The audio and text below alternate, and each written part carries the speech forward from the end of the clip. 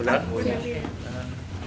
Buenas noches o buenas tardecitas a todos en este día primaveral lindísimo que nos tocó. Eh, estamos acá en el primer evento de la serie de poesía de el programa de escritura creativa en español. Yo soy Lila Semborain, eh, directora no, asociada también. Soy directora eh, interina del programa por un año. Y este, bueno, estamos muy contentos con este primer evento, o segundo evento, porque tuvimos la lectura de bienvenida, ¿no? Pero un evento de presentaciones, eh, de tener aquí a un exalumno que se acaba de recibir, Santiago Barcaza. Aplauso para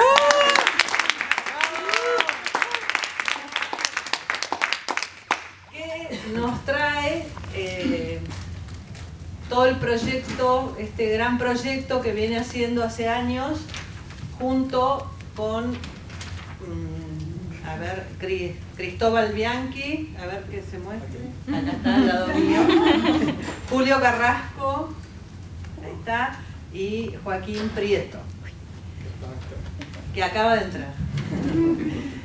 Acá están los cuatro eh, participantes del grupo Casa, Casa Grande, colectivo Casa Grande, que han hecho este, muchísimos eventos. ¿Desde qué año? 1996. Desde 1996 vienen trabajando eh, en la diseminación de la poesía.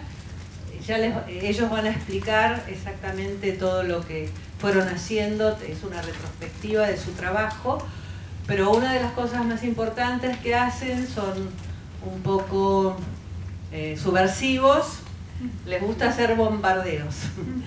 Entonces han hecho bombardeos de poesía en varias ciudades, ya les van a explicar, y este, espero que nos hagan acá también algún, alguna cosa, algún bombardeo, algo queremos. Así que, este, bueno, un placer tenerlos entre nosotros. Y Micaela Paredes, chilena también, son todos chilenos, eh, va a presentar a este grupo tan activo y creativo. Ok, gracias por estar con nosotros.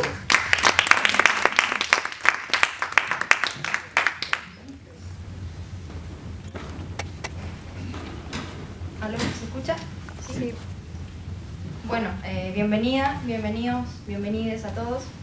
Eh, para mí es una alegría y un honor eh, ser la encargada hoy día de presentarles a, a los chicos que bueno, ya introdujo Lila, eh, los Casagrandes.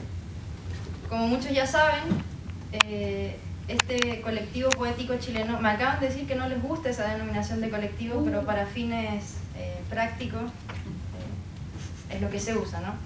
Grupo de amigos chilenos, Casa Grande, eh, que como muchos ya sabrán se han ganado un espacio en el panorama eh, artístico internacional por su gran proyecto de bombardeo de poemas en diferentes ciudades del mundo.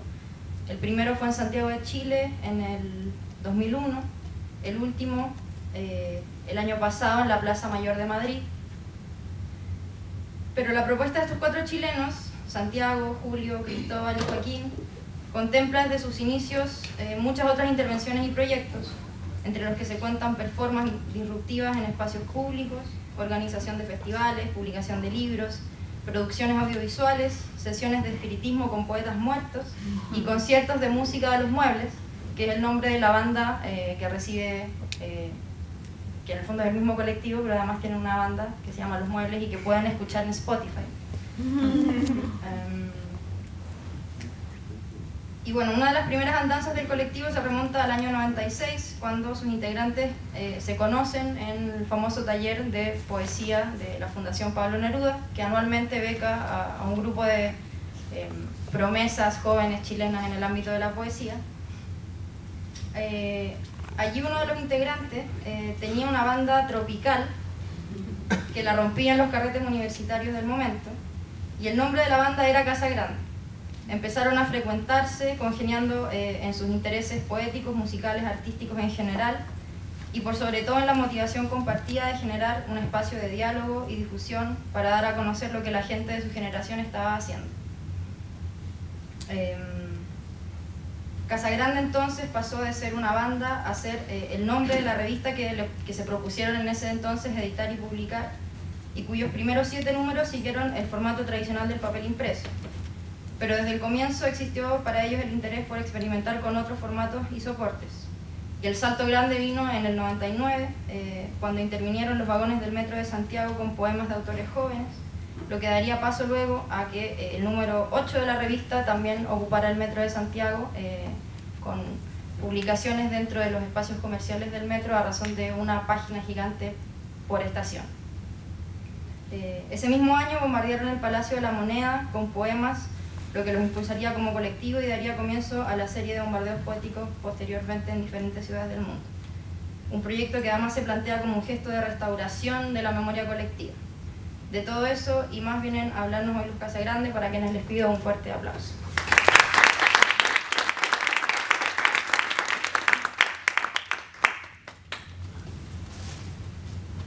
Hola.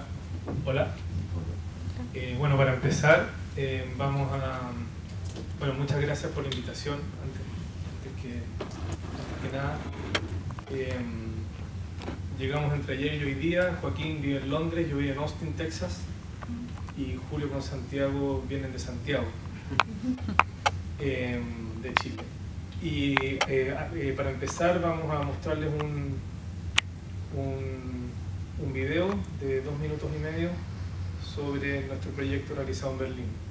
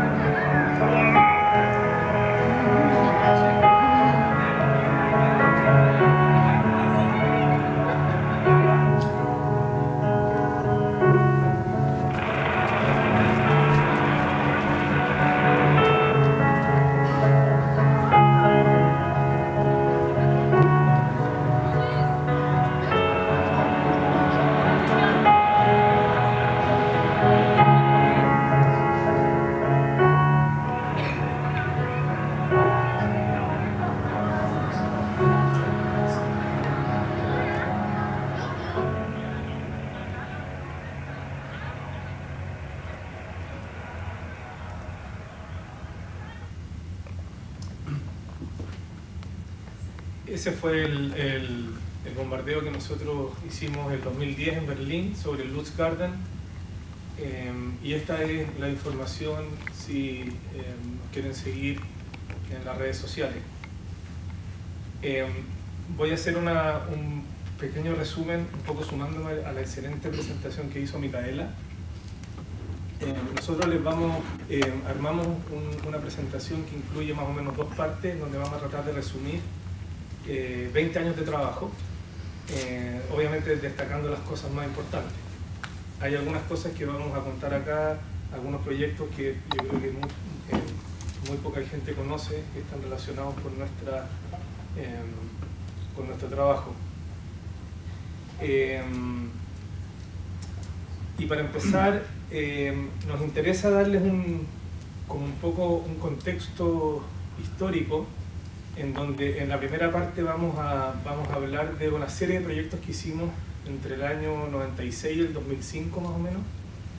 Y eh, en la segunda parte eh, vamos a eh, hablar directamente de lo que es el bombardeo de poemas, de cómo ese proyecto se ha desarrollado, cómo nació y cómo ha evolucionado en el tiempo. para nosotros es muy importante dejar en claro eh, que la mayoría de nosotros eh, nació el 73. Entonces, el tema, de, el, tema histórico, nuestra relación con la dictadura y con el inicio de la transición a la democracia es clave para entender cómo nosotros empezamos a trabajar. Eh, y en ese sentido, me parece que hace sentido para nosotros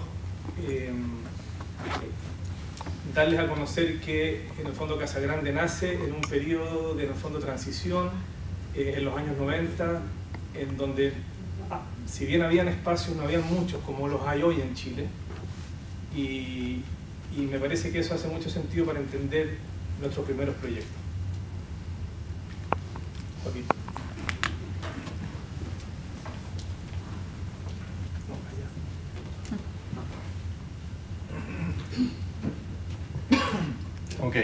Eh, dos cosas primero.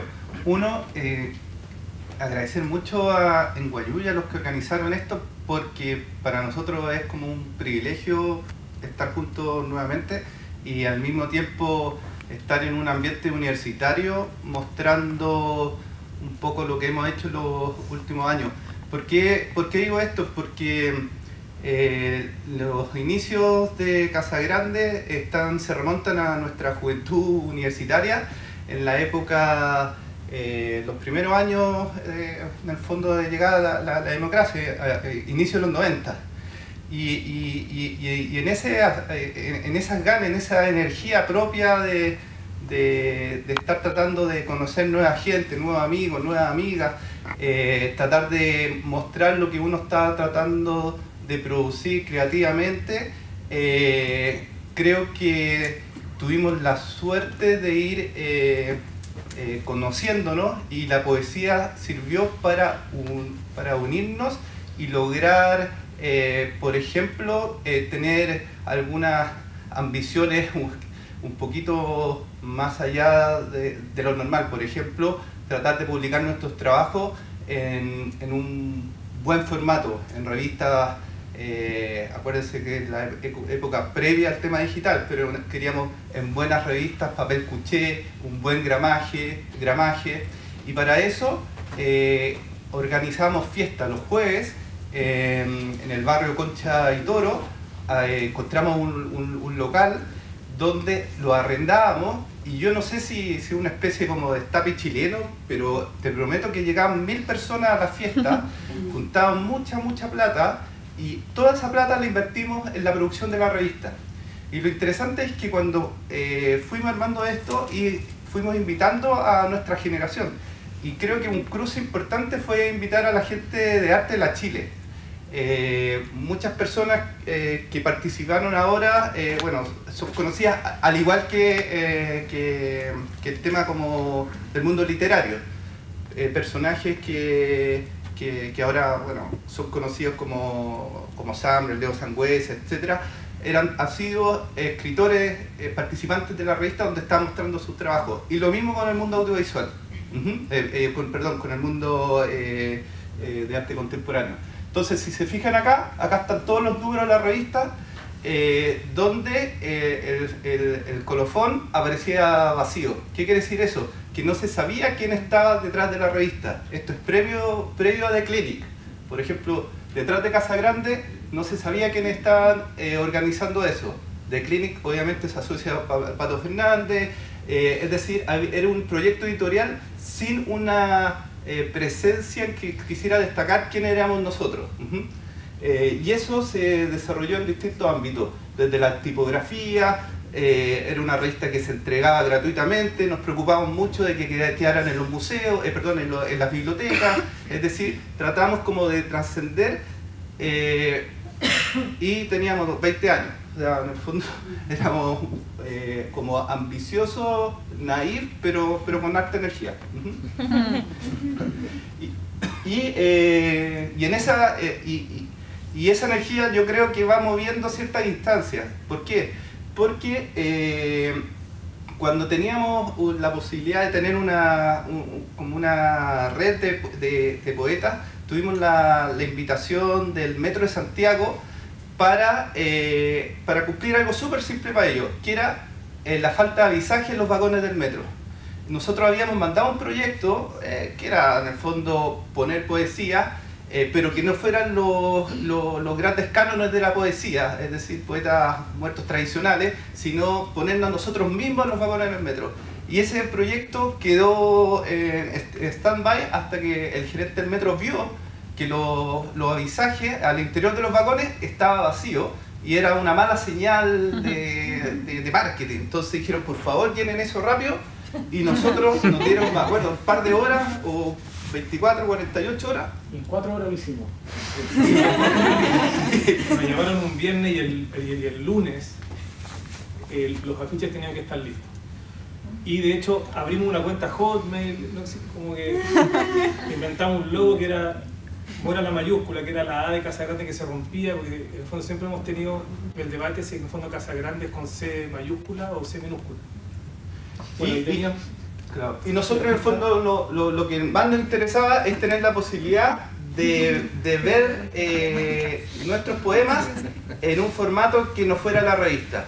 Eh, y, ahí, al, presentar ese, ese, formato que de alguna manera es tradicional, porque se, se, muestra poesía en el Metro de Nueva York, en el Metro de Londres, de autores viejos para no tener que pagar derechos de autor, pero bueno, eh, lo interesante es que vimos que hubo interacción de las personas al interior del metro. Es decir, había gente que no necesariamente eran personas que estaban escribiendo, etcétera, sino que gustaban de la lectura de la poesía, se cambiaban de vagones para buscar otros poetas.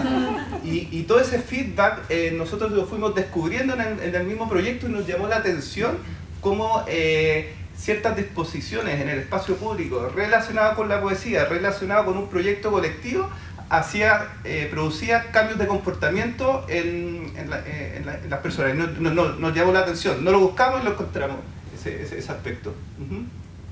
y, también para tratar de, hacer el, el, ¿cómo se dice? el proyecto, eh, o sea, ese proyecto fue muy bien evaluado en el Metro de Santiago. Y justo nosotros estamos pensando en la, en la revista número 8 de nuestra revista Casa Grande y eh, eh, nuestra revista anteriormente tenía 52 páginas. Entonces, eh, en ese momento la red de metro de Santiago tenía 52 estaciones. Toda esa cosa va sumando para cuando nos juntamos en algunos bares a tomar cerveza, bien pensando en nuevo, nuevo mundo, dijimos, ¿por qué no ocupar la experiencia del metro, pero para hacer la revista número 8? Mm. Y, y creo que eh, dándole vuelta, dándole vuelta, encontramos una muy buena solución, es decir, hacer una edición transitable.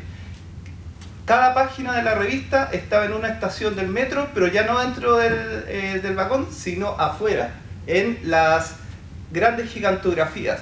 Entonces, si una persona viajaba por el metro, iba de alguna manera hojeando esta revista. Mm. Y, y tenían números, la página 22, la página 21, la portada, esa es la página 25.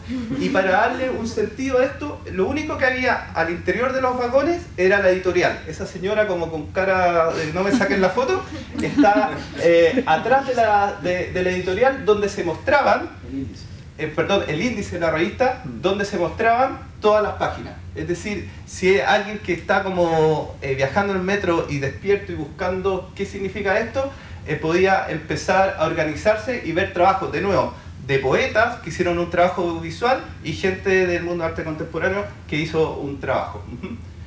Esa es la página 20.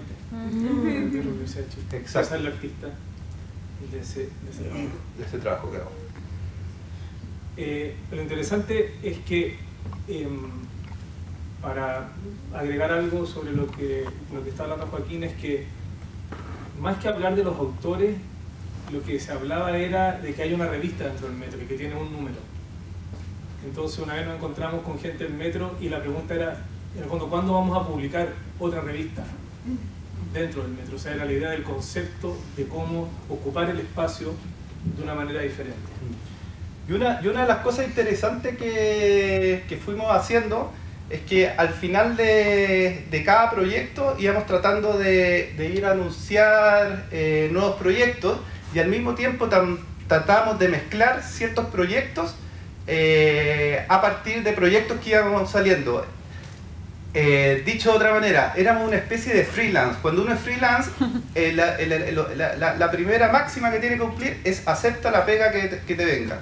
Entonces, en ese momento postulamos a unos fondos del Consejo del Libro y creo que es la primera vez que el Consejo del Libro financió un proyecto tan eh, fuera de, su formato, que es la revista 9. ¿Cuál era la revista 9? Con esta idea de, jugar con los formatos, se nos ocurrió, ¿por qué no hacer un periódico?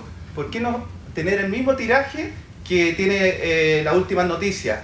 Eh, ¿Por qué no mostrar nuestra revista Casa Grande, pero que aparezca en los escaparates de los kioscos? Es decir, que uno vaya al kiosco y tenga la experiencia de leer el titular, pero que sea de una revista acuérdense, esto es previo a la época de Clinic, previo a otras revistas que de alguna eh, manera ocupaban ese formato. Y nosotros eh, tuvimos una muy buena alianza con todos los kiosqueros y se comprometieron a un día determinado poner todas las revistas eh, en el kiosco y nosotros nos íbamos a encargar de que las personas vayan a buscar el, el, kiosco el día siguiente. Lo que hicimos fue una, una, una maniobra bien táctica en esa época le vendimos, le, dijimos a la gente de Televisión Nacional que si ustedes en el noticiero le dicen a toda la población chilena que vayan a buscar el kiosco, nosotros les mostramos, les damos eh, imágenes del bombardeo de Dubrovnik.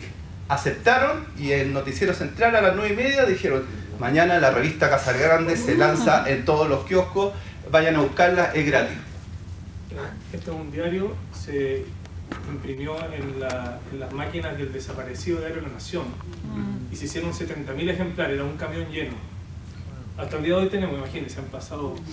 70.000, claro, nos averiguamos que ese era el tiraje más o menos de, un día de semana, no el fin de semana. El fin de semana creo que son 300.000 en esa época. Eh, y, y ocupamos la revista Transitable, la última página, junto con la última página de esta revista para promocionar el proyecto Chile el Cosmos. Eh, si se fijan, acá hay un personaje que se llama Klaus y que yo creo que Julio va a contar un poco más detalle de este proyecto. Eh, bueno, una de las razones... Creo que este suena sin eco. Una de las razones por las cuales necesitamos que fueran 70.000 ejemplares es que eh, no teníamos, teníamos este proyecto que se llamaba Chile al Cosmo y no teníamos eh, recursos para imprimir un afiche y entonces usamos la última página eh, como afiche de Chile al Cosmo y necesitábamos también que llegara a, a todas las escuelas de Chile. Entonces también lo mandamos a, a, través de una alianza con el Ministerio de Educación. ellos las mandaron a las escuelas públicas de Chile, que en aquella época eran 10.000 Em, el, proyecto Chilascom, el Chilalcosmo empieza a explicarse a, través del, texto que pueden ver acá, que dice, a comienzos de 2003 el primer astronauta de Chile viajará al cosmos en una nave espacial. En su maleta va a llevar la revista Casagrande 10 que contendrá las cartas de los niños de todo el país. Si tienes algo que decirle a las estrellas, escribe una carta y mándala a tal dirección. Entonces nos llegaron unas, unas 5.000, 6.000 eh, cartas de niños a las estrellas y eh, la, primera carta, por, muy directo, ya, esa fue la primera carta que nos llegó, que es de una niñita de Alhué, de Alhué que le pedía a las estrellas que aparecieran de día. Entonces, ¿en qué, qué, qué es Chiralcosmo? En realidad, eh, nosotros habíamos hecho ya, la, eh, cuando, como decía eh, Joaquín, las primeras siete números de Casa Grande eran publicaciones tradicionales impresas, pero a medida que iba de un número a otro, fuimos experimentando una lenta progresión hacia las artes visuales y había menos, menos letras y más, más figuras en la revista. Eso como que se produjo un, salto dramático en la revista 8 que eh, eh, rompimos el, formato, la, última revista 7 ya era una cosa ya que era, eh, tenía, era como una especie de long play de vinilo, el formato como el disco de vinilo, y con muchos troquelados y cosas extrañas. Ya después saltamos la revista 8 que fue en el, en el, en el metro de Santiago, la revista 9 fue este diario, y ya estábamos experimentando ya muy dramáticamente con la con, la, con los formatos impresos. Y al número 10 ya fue una locura porque hicimos una revista digital eh, que eh, tenía el propósito de ser enviada al espacio, a la Estación Espacial Internacional. Mm. Eh, había un candidato astronauta chileno, Klaus von Storch, que iba a viajar en, en, 2003 y entonces él se le iba a llevar. Y la iba a viajar en, el, en, en la biblioteca de la Estación Espacial Internacional. Eh, esta Casa Grande 10 contenía eh, videos de mensajes al, al, cosmos enviados por personas en, la calle y también por una selección de, de figuras del ámbito político, científico y literario. Eh, tenía mensajes dejados por la ciudadanía en una, en una web que armamos para ese propósito, que era chilealcosmos.cl.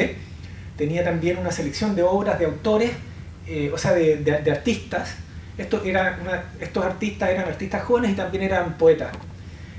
Y eh, el, como que el, el, fuerte era, eran las cartas de los niños a las estrellas. Entonces, si, damos un, paso anterior, ahí se ve como mensaje que envió Cirilo Vila, eh, un músico chileno que ganó el Premio Nacional en 2004. Y entonces, eh, bueno, esta, revista todavía no se, va al espacio, y no se va porque en el año 2003 el, el, transportador Columbia eh, explotó, como todos sabemos, y entonces la estación, los transportadores eh, llevaban siete pasajeros y tenían como... Era, era, muy importante el papel que jugaban en el recambio de astronautas en la Estación Espacial Internacional, donde siempre tiene que haber una cantidad de astronautas fijos. Y entonces siempre se iban intercambiando eh, y entonces la responsabilidad de eh, eh, mantener el flujo de astronautas recayó en, en, los rusos, que tienen unas naves mucho más chicas, que son las, las naves Soyuz TMA, en las cuales caben dos personas y tres, pero muy apretaditas, siempre van dos personas. Y entonces ellos tuvieron que asumir la responsabilidad de llevar astronautas rusos y astronautas gringos. Y entonces, eh, bueno, el, chileno quedó como un poco para, para la cola. Eh, no obstante, está, tenemos todo el material y eh, queríamos simplemente asegurarnos de que no, no, iba a ir Klaus, porque habíamos hablado tanto con él. Y es, cosa de mandarlo, lo podemos mandar con cualquier astronauta. Pero bueno, todavía yo, yo, creo que vamos a retomar eso, solo que estamos un poquito sobre, sobrevendidos con tantas cosas que hacemos. Y bueno, seguimos adelante. Ah, bueno, la Casa Grande 13. La Casa Grande 12 la saltamos y, y ahora de nuevo hicimos un, nuevo cambio brusco de formato, pasamos al formato sonoro, una revista con páginas de un minuto de duración que eh, se transmitían en, en, en, una radio ahí en Chile. Y entonces las páginas eran voces de poetas muertos, eh, cantos de pájaros, ruidos de, de, de, la ciudad, etc. Y en este caso vamos a escuchar... Revista Casa Grande número 13. Página 39. Voces del Jardín de Chile. El Chincón.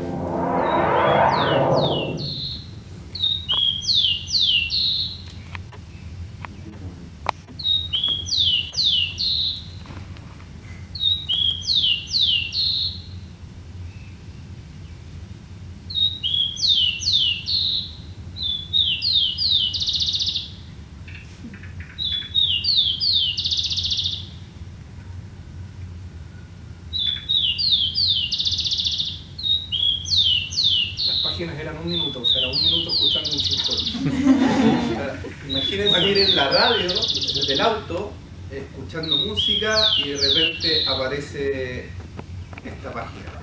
Además, una, una de las páginas era un. Esa fue la página 39 de la revista Casa Grande, número 13, en Radio Concierto.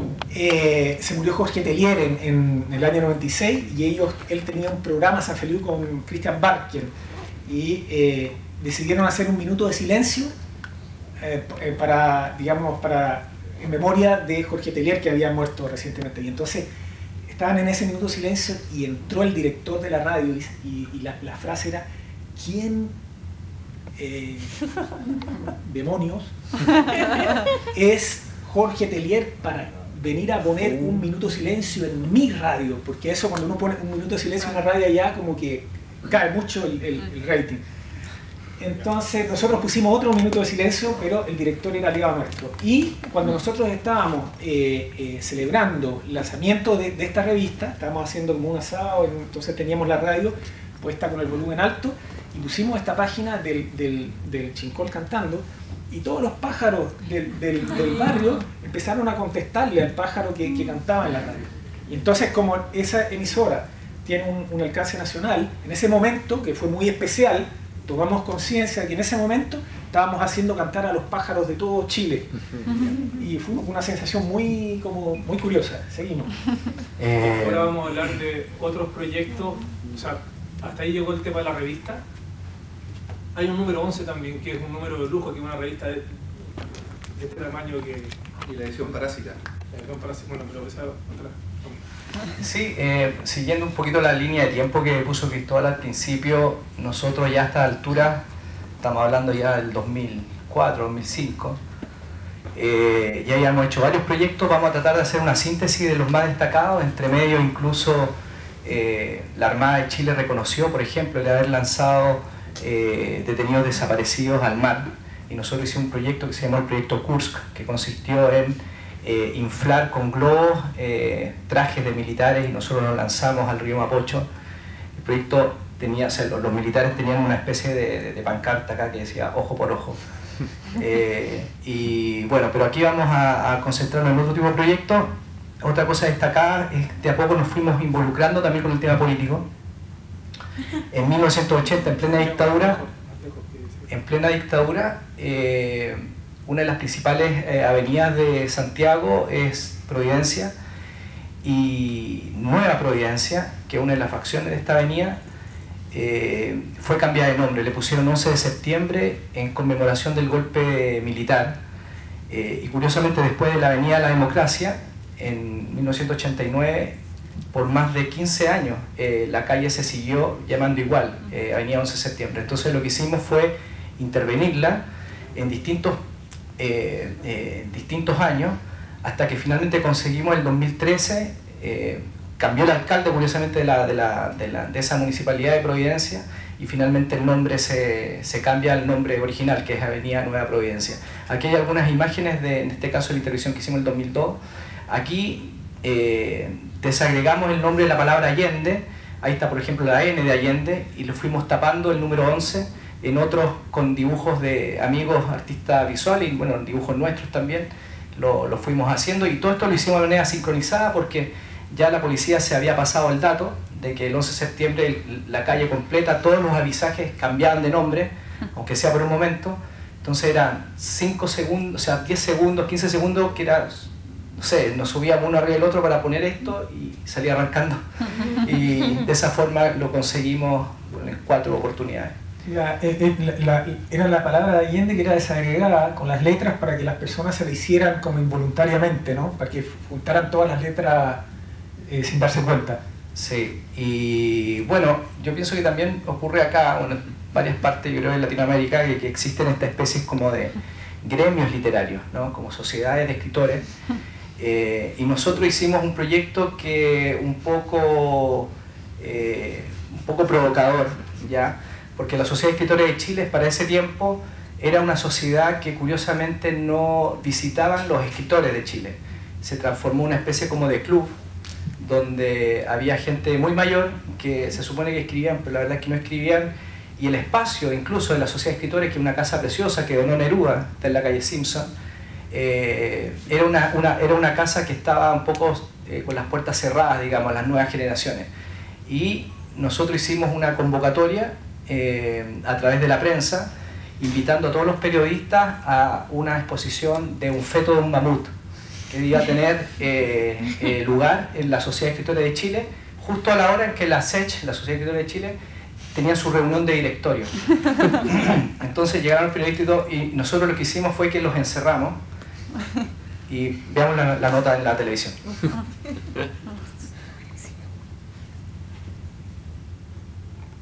En otro tema, un grupo de escritores estuvo encerrado en la casa del autor por más de una hora. Desconocidos se encadenaron las puertas. Según algunos literatos, se trató de una broma.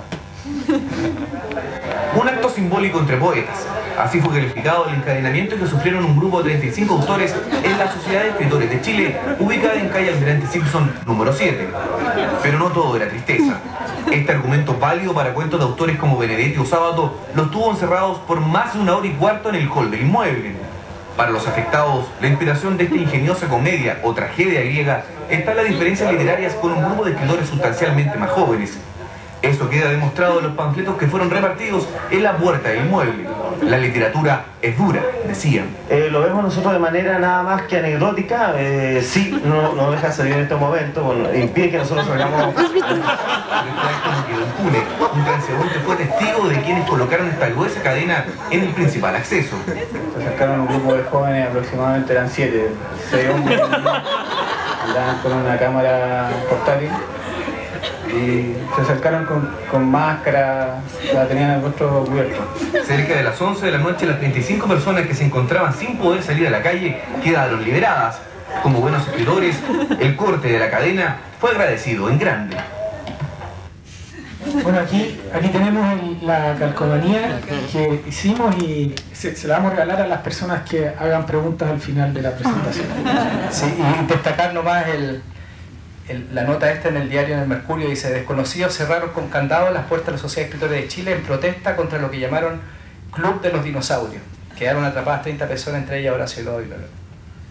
Habíamos mandado un, comunicado de prensa antes invitando a una exposición de fósiles. Y algunas veces en ciertos eventos la Fundación Neruda le poníamos a los viejos atrás la hegemonía. Y una vez se la di a Bolaño y, me felicitó. así como de, recuerdo. Bueno, esto la verdad es que nos, empezamos a juntar desde, creo que fue 2000, año 2001 en adelante, como eh, los 12 de octubre. Esto la verdad es que no, tenía nada que ver y nos juntamos, está en YouTube, si ponen We Are de Chile, juntamos en, el, Museo de Bellas Artes, una, una forma de hacer una, un homenaje a la tradición eh, cultural chilena. En el Bellas Artes cantamos eh, esta We Are the World. We are the world. Y eh, bueno, se fijan aquí como que las, primeras, como siempre, como que toda la gente era como un grupo de, eran mayoritariamente artistas o, poetas o cineastas. De hecho, en, una, uno lo puede ver, hay, hay, dos, personas ahí del, del grupo que, que, después se ganaron Oscar ganó Sebastián Lelio y, Daniel Castro. Lo, interesante era que nos íbamos los 12 de octubre, para el día de la, eh, ¿cómo se dice? Bueno, el día de la, raza creo que se llama, no sé. Y, fuimos varios años. Entonces, si uno ve el video, eh, era chistoso porque se notaban los cambios de pareja, eh, uno ya, la idea era ir construyendo, construyendo una biografía de nosotros en, ese relato, pero, pero duró solamente... Eh, cinco años, que, es harto igual. Pero nos, nos, levantamos temprano un día feriado para estar ahí en eh, la, la, leyenda del, del, vaquero chileno, hicimos una, una, una película eh, eh, que era, o sea, hicimos todo lo que tiene que ver una película, hicimos la, la, banda sonora, los actores, el guion y todo, y lo comunicamos a la prensa y ahí salió en el, en el Mercurio, en toda, con toda la contraportada y también salió en la revista de, de Chile. Eh, el, el, nuevo proyecto de, ¿cómo se llama? Era el Sundance Festival, ¿cómo se llama? El, Sundance, y que Robert Redford estuvo dispuesto incluso a, poner un millón de dólares Dos millones costaba, dos millones costaba. Bueno, hicimos toda la historia de la película menos la película misma. Pero, o se sea, cuenta uno que, que, que los diarios en el fondo publican cualquier cosa, ya en esa época. Y el director era el hoy eh, de apellido Campo, que es Lelio, y en el fondo era antes que, que había... Antes de que se ganara el- Y él se suponía que iba a ser el director hasta que un día, en el fondo, otros cineastas lo arrinconaron en una fiesta, dándole, en el fondo, pidiéndole explicaciones de que si era verdad que él tenía dos millones de dólares que le había dado supuestamente Robert Redford, leyendo el vaquero chileno. No, pero eh, en realidad la, la idea de nosotros como que lo, lo que buscamos con esto era, a- partíamos de las memorias de, de- de Luis Buñuel, en las que él como que se lamenta de no poder dar no más de una de todas las películas posibles, como tiranizar al espectador con una, con la versión, una sola versión de, la- de- de todas las versiones posibles de una película. Entonces nosotros al suprimir esa versión principal, hacíamos posible todas las otras versiones. Y eh, en, en- en- realidad era como una película, proyectar una película en formato imaginario. Una serie eh, en el Teatro Camino, una serie, celebramos eh, eh, cumpleaños de, de- de poetas muertos. Eh, partimos en, eh, el 12 de julio para el centenario de Neruda, hicimos, fue nuestra primera sesión de espiritismo para hablar con Neruda. Eh, Y bueno, por eso, se- y por eso Noguera nos prestó el teatro, porque nosotros lo invitamos a ser parte de, de esta película. Entonces, en el fondo, todo está un poco conectado. Sí, esto no era un director Y importante. este es el cumpleaños de Lipo. Lipo que estaba cumpliendo 1300 años. y le prendimos 1300 velas y el cumpleaños le, le pusimos dueña de nada porque el Lipo, al igual que eh, la letra de una canción de un cantante venezolano, Lipo intentó, o sea, intentando besar el reflejo de la luna en el lago amarillo, borracho, muere, y el, el- cantante venezolano tiene una canción eh, tiene una canción que se llama Dueño de nada, donde también dice la letra. Dueño del aire y del reflejo de la luna sobre el agua. O sea, dueño del aire y del reflejo. Lo, curioso, lo curioso este- del cumpleaños de, de Lipo, es- lo curioso del, del cumpleaños de Lipo es que mientras estábamos celebrando el cumpleaños de Lipo en el teatro de Héctor Noguera, al mismo tiempo a cuatro kilómetros en, en- en San Carlos Apoquindo estaba dando un recital el Puma Rodríguez. Pero, pero aparte de eso, nosotros, a, nosotros nos llamaron, nosotros no- nos, habíamos olvidado de, este compromiso que teníamos con el teatro y nos llamaron como la semana anterior y nos dijeron, este fin de semana ustedes tienen que hacer algo porque se habían comprometido con nosotros y entonces justo tocaba Lipo y eh, por una, una coincidencia también era el cumpleaños de Bruce Lee, el mismo día. Entonces, de esta manera habíamos puesto en, eh, como un, triángulo, como ha hecho coincidir en un mismo proyecto, ¿no? una misma performance, habíamos hecho coincidir la, literatura, la poesía, la música romántica y las artes marciales a través de, esta como de la coincidencia fonética de Bruce Lee, Lipo, y de que esta era el cumpleaños de, de Bruce Lee. Lo, agregar, eh, cuando Héctor Noguera nos invita a hacer algo relacionado a la poesía en su teatro, nosotros lo único que le pedimos era que confiara en nosotros.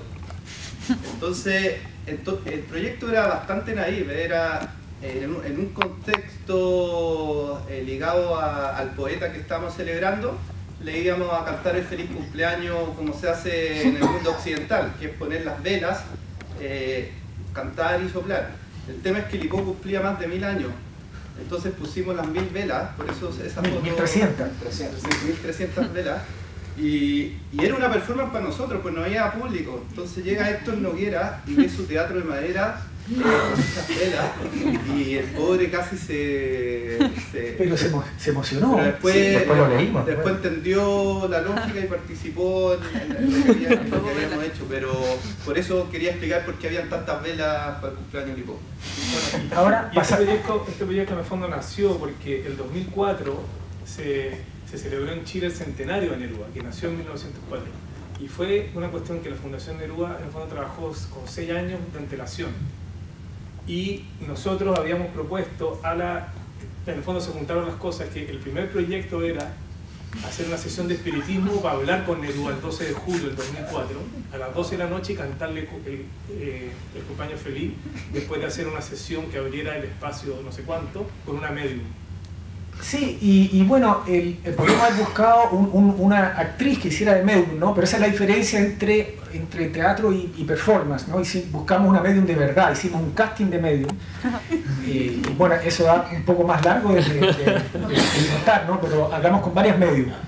Y eh, entonces también había algo de político eso, porque había como todo, estaba lleno de escenas, de mucho protocolo, de, de- de- de cosas como muy encopetadas y, y de cosas organizadas por el empresariado. Y esto era una manera nosotros de decir que los poetas como que nos tuteábamos, nos hablábamos directamente sin, sin intermediarios.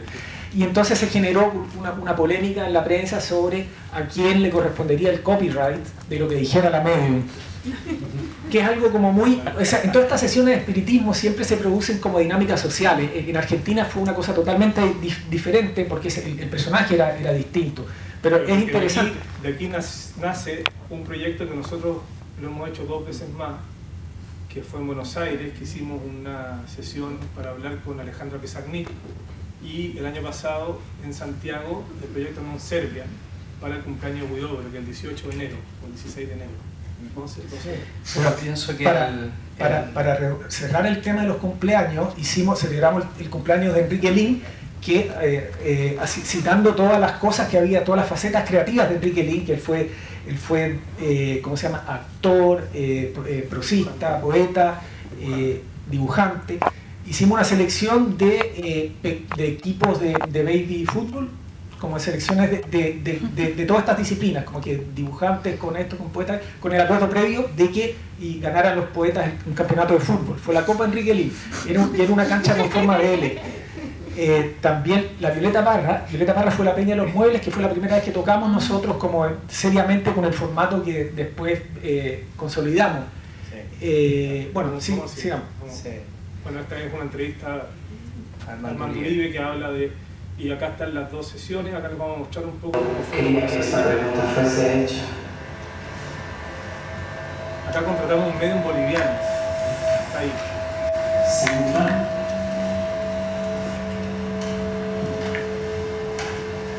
Ahora bien, primero tendríamos que pensar un poco entre todos ahora qué es de Sí, hecho eh, esta palabra centro. La experiencia con Pablo Neruda, eh, la verdad es que Neruda no habló finalmente. Existe Lo empezamos a hacer, sin embargo, cuando lo hicimos con Alejandra concéntrico en el marco del Festival Filpa en Buenos Aires, eh, coincide también con el aniversario de su muerte. Y, y la verdad que el profesionalismo de este medio se notaba muy, eh, es realmente muy superior, pero lo personal, que soy bastante eh, escéptico de este tipo de cosas, eh, debo confesar que fue sorprendente. Aquí Alejandra Pizarnik habló hasta por los codos y la, la- la organización del festival nos puso una condición, eh, nos puso una condición y es que como invitado a esta actividad, que fue a las 11 de la noche, un día viernes, entre 11 y 12 de la noche, tenía que estar presente un amigo de, de, de Alejandra Pizarnik que de hecho eh, Alejandra le había pedido a él que eh, ayuda para suicidarse. Alejandra Pizarnik intentó suicidarse seis veces.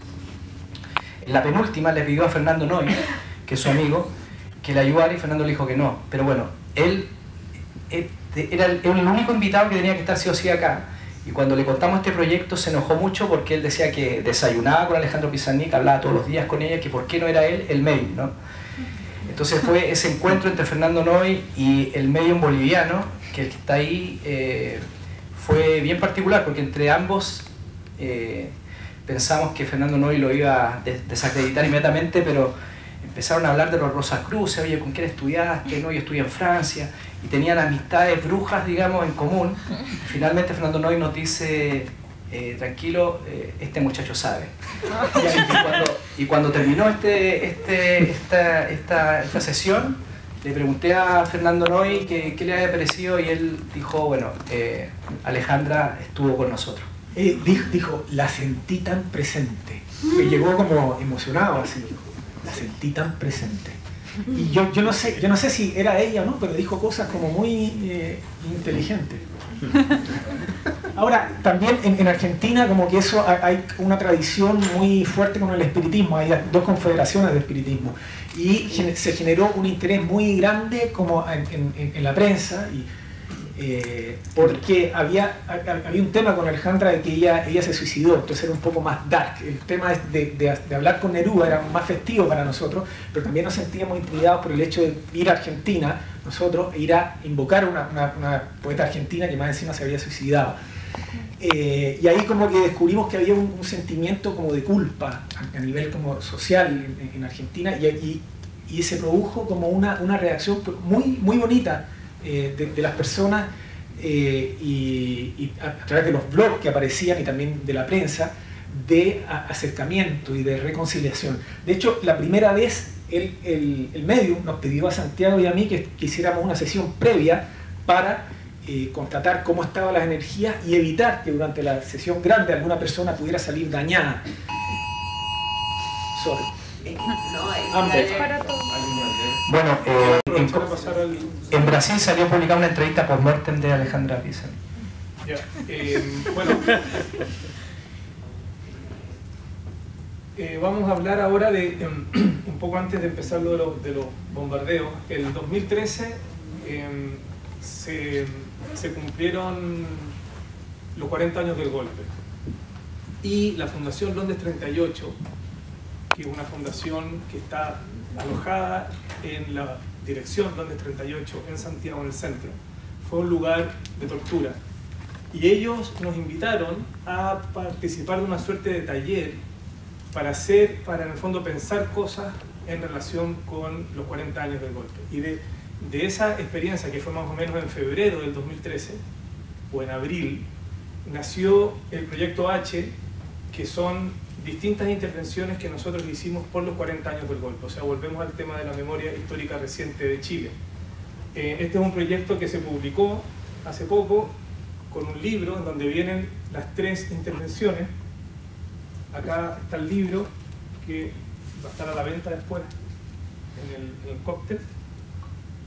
Eh, y consistió en primer lugar en hacer eh, un antimonumento Ustedes conocen a King Kong, ¿cierto? Bueno, que es primera vez que hablamos de este proyecto a, a solo cuadras del Empire State, que para nosotros es muy es un, es, es un emblema básico de la creación de, este, eh, de esta intervención, donde mostramos, hicimos este video como una manera de presentarlo.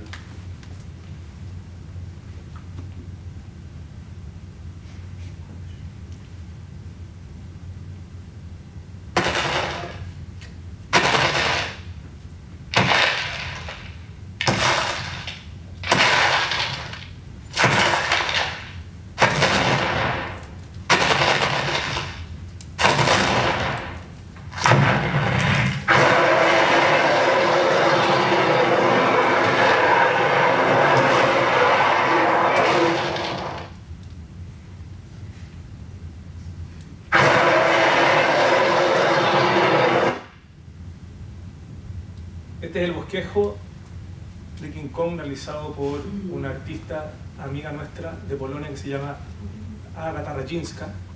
Es un inflable de 12 metros de la figura de Pinochet. Eh, y ahí es, está el, el paquete que nos llegó, que lo mandamos a hacer a China. Es básicamente un inflable de 12 metros que lo pusimos atacando a distintas instituciones relacionadas con la destrucción que hizo la dictadura en Chile. Sí, está en la moneda. Nuestro propósito era, era, como hacer una especie de, como de construcción, una, una réplica del golpe de Estado, como en el lenguaje cómic, poner a, a Pinochet como amenazando la, la, la, moneda. Demoramos porque el, el gobierno era de, de, derecha, era el primer gobierno de Piñera, y entonces eh, eh, no nos dieron el permiso de ponerlo en, en la moneda primero eh, nosotros para poder burlar, evadir la, la censura previa, eh, le pusimos King Kong y entonces eh, ellos pensaban que era un King Kong. Y entonces vinieron después como eh, a, a, alegarnos, oye, pero ¿cómo? ¿Qué es esto? La, ¿cómo, esto ¿Dónde está King Kong? Le dijimos, no, bueno, nosotros le pusimos King Kong en nombre del proyecto y le pusimos así por sus grandes dimensiones y por su condición de gorila. Entonces hubo, hubo una, una, polémica y como que trataron de desinflarlo. Eh, hubo gestiones ahí de alto nivel para desinflarlo, pero ya producto del impacto que, que causó cuando se puso en la, eh, frente a la Universidad de Chile, ya iba a ser más el escándalo si lo, si lo desinflábamos que si lo dejábamos ahí. Claro. Ahora está guardado King Kong en el, en el, en el sótano de la casa de, de Santiago y estamos pensando arrendarlo para, para su cumpleaños de Milico. Eh, esta es una de las intervenciones del Proyecto H. La otra que fue la que hicimos con Londres 38. Aquí llegó una red de más o menos 60 voluntarios que básicamente consistió en pintar las sombras de los aviones Hawker Hunter que bombardearon la moneda en las inmediaciones del palacio. Y pintamos cuatro sombras de Hawker Hunter a tamaño real. Esta era una forma de más o menos de congelar el tiempo, ¿no? en, en el momento en que, en que vienen lo- lo- los aviones. Y también era una forma también de decir, de, de- de mandar una señal de alerta en el sentido de que, de que el fascismo estaba, estaba ahí todavía. Y, y la historia nos dio la razón pocos años después. Eh, ahora, eh, Esto fue el 10 de septiembre en la noche, eh, conseguimos los permisos para cerrar la Alameda eh, y poder pintar y el 11 de septiembre apareció eso. Lo interesante nuevamente, no se sabía quién hizo esto, apareció en todos los medios, circuló, creo que ap- apareció hasta acá en varios medios de, de- de- de Nueva York y eh, sí todos sabían lo que significaba eh, y no importaba qué- quién lo hizo. Y, eh, y creo que, que- que lo, otro, eh, lo otro también que llamó la atención fue, eh, en el fondo, para los que estaban más interesados en el tema como cómo se logró hacer eso, es la punta del iceberg de lo que significa parar la alameda, pintar la sombra y, ver que efectivamente todavía se pueden hacer intervenciones, eh, como se dice, en espacios públicos tan simples como una pintura en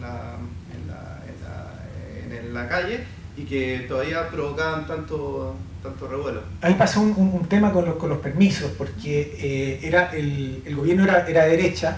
Nos pasó a la inversa de cuando hicimos el primer bombardeo de Poemas. Cuando hicimos el primer bombardeo de Poemas, la alcaldía era derecha, pero el gobierno, eh, el gobierno era Ricardo Lago y la alcaldía era eh, Joaquín Lavín, que era derecha. Entonces él prohibió, que no- no- nos negó el permiso a hacer el bombardeo, pero el espacio de la, de- de la moneda y la Plaza de la Constitución es del gobierno. Y el gobierno de turno era de centro izquierda y entonces ahí eh, no, no- tuvimos el permiso para hacerlo allá, allá adentro.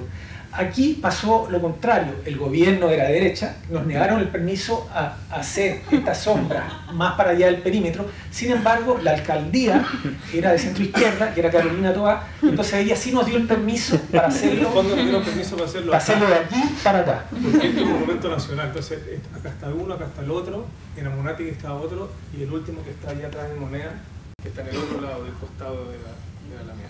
Sí, y para efectos prácticos, después cuando llegó la policía le mostramos el permiso de la alcaldesa y el, el carabinero no, no- no- incluso nos protegió, digamos, de, de los autos y la tercera parte es una flota de aviones de chocolate, de Hawker Hunter, de chocolate, que se llama 40% cacao.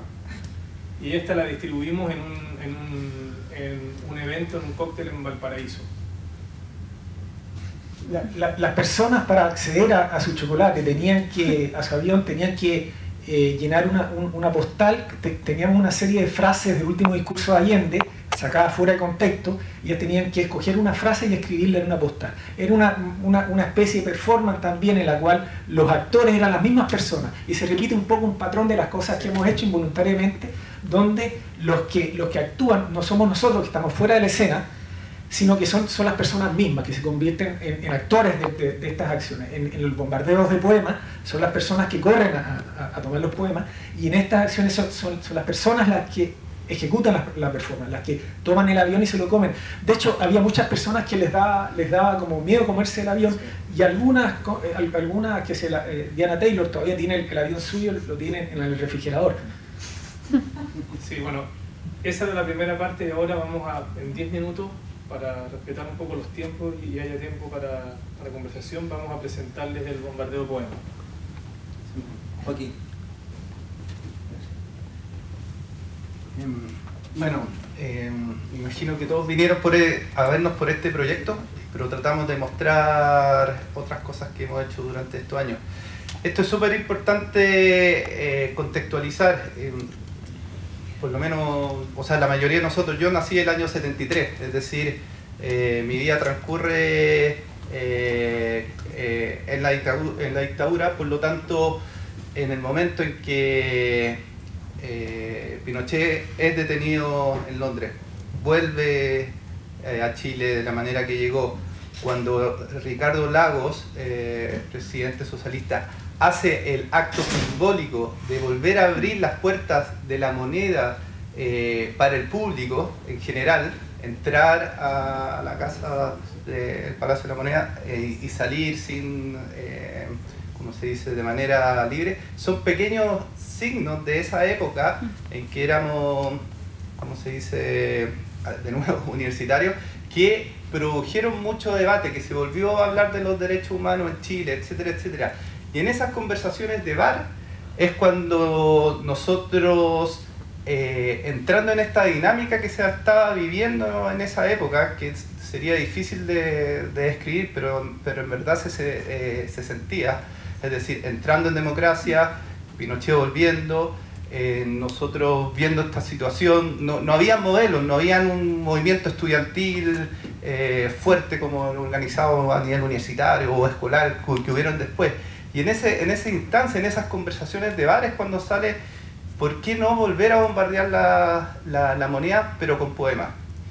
Eh, y me acuerdo patente cuando sale esa idea que después fue trabajada como todas las cosas. Al principio se querían lanzar posavazos, no, no sabíamos, pero sí teníamos claro que queríamos volver a articular la misma logística que hubo detrás de un bombardeo de poemas.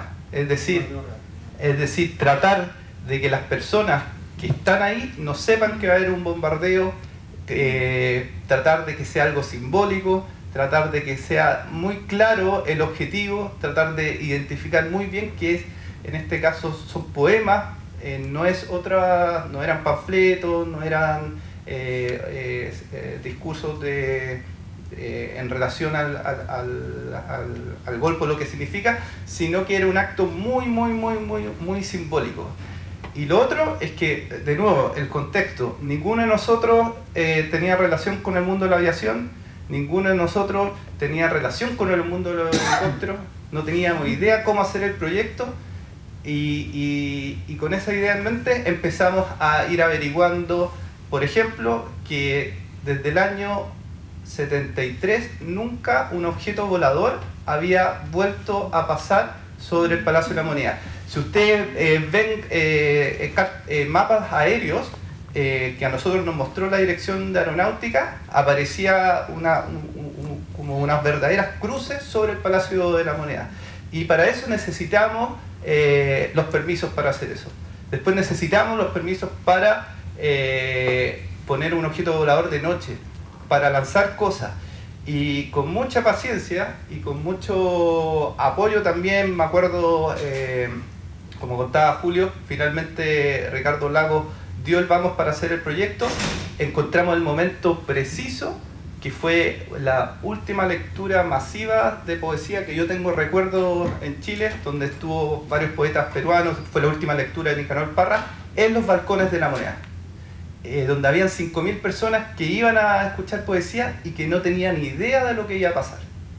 Eh, y creo que ahí, eh, como, como decimos nosotros, bueno, descubrimos el proyecto. ¿Por qué? Porque no sabíamos cómo iban a caer los poemas, no sabíamos si lo íbamos a apuntar. Piensen que el helicóptero tenía una altura, había temas de viento, que después en las otras ciudades nos dimos cuenta que era un gran problema, pero las, las estrellas se alinearon para que los mil poemas, eh, los mil marcadores de libros con poemas, perdón, cien mil marcadores de libros, media tonelada de, poemas, cayeran eh, eh, donde están estas cinco mil personas que de nuevo son personas que sintieron el ruido del helicóptero, el ruido del helicóptero genera ansiedad, genera temor, ven que están cayendo cosas, eh, alzan la vista, agarran poemas, se dan cuenta que, eh, tu vecino tiene un poema distinto, la gente empieza a intercambiar y en verdad eso fue una catarsis. O sea, eh, yo estaba abajo,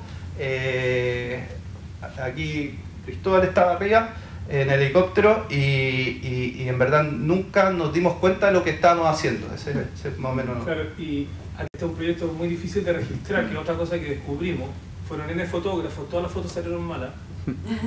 Eh, en el helicóptero la ingenuidad, em, em, la cámara estaba sin batería, entonces la grabación duró 10 minutos, así como un desastre, pero así nació el proyecto. Y ese mismo día, esto fue un viernes 23 de marzo, que es otra cosa que también descubrimos, que era necesario relacionarlo con la fecha histórica, que la poesía en el fondo está como dislocada con el, el- el contexto eh, eh, de abajo.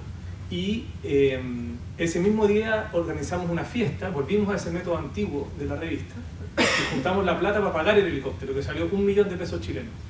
En esa época son como 5 horas, no sé, hace 20 años. Sí, porque eh, habíamos, habían, teníamos un helicóptero más barato, pero se estrelló la, esa misma semana en Valle Nevado, por unos, unos temporales que hubo en el sur, y lo que nos exigía la dirección de aeronáutica era un helicóptero bimotor. Sin embargo, producto de estas eh, temporales, el presidente se fue al sur de gira y se llevó casi todos los helicópteros bimotores que había en Santiago. Y entonces el único que nos quedaba disponible era uno que era el más, más moderno de Chile y por lo, por lo tanto el más caro.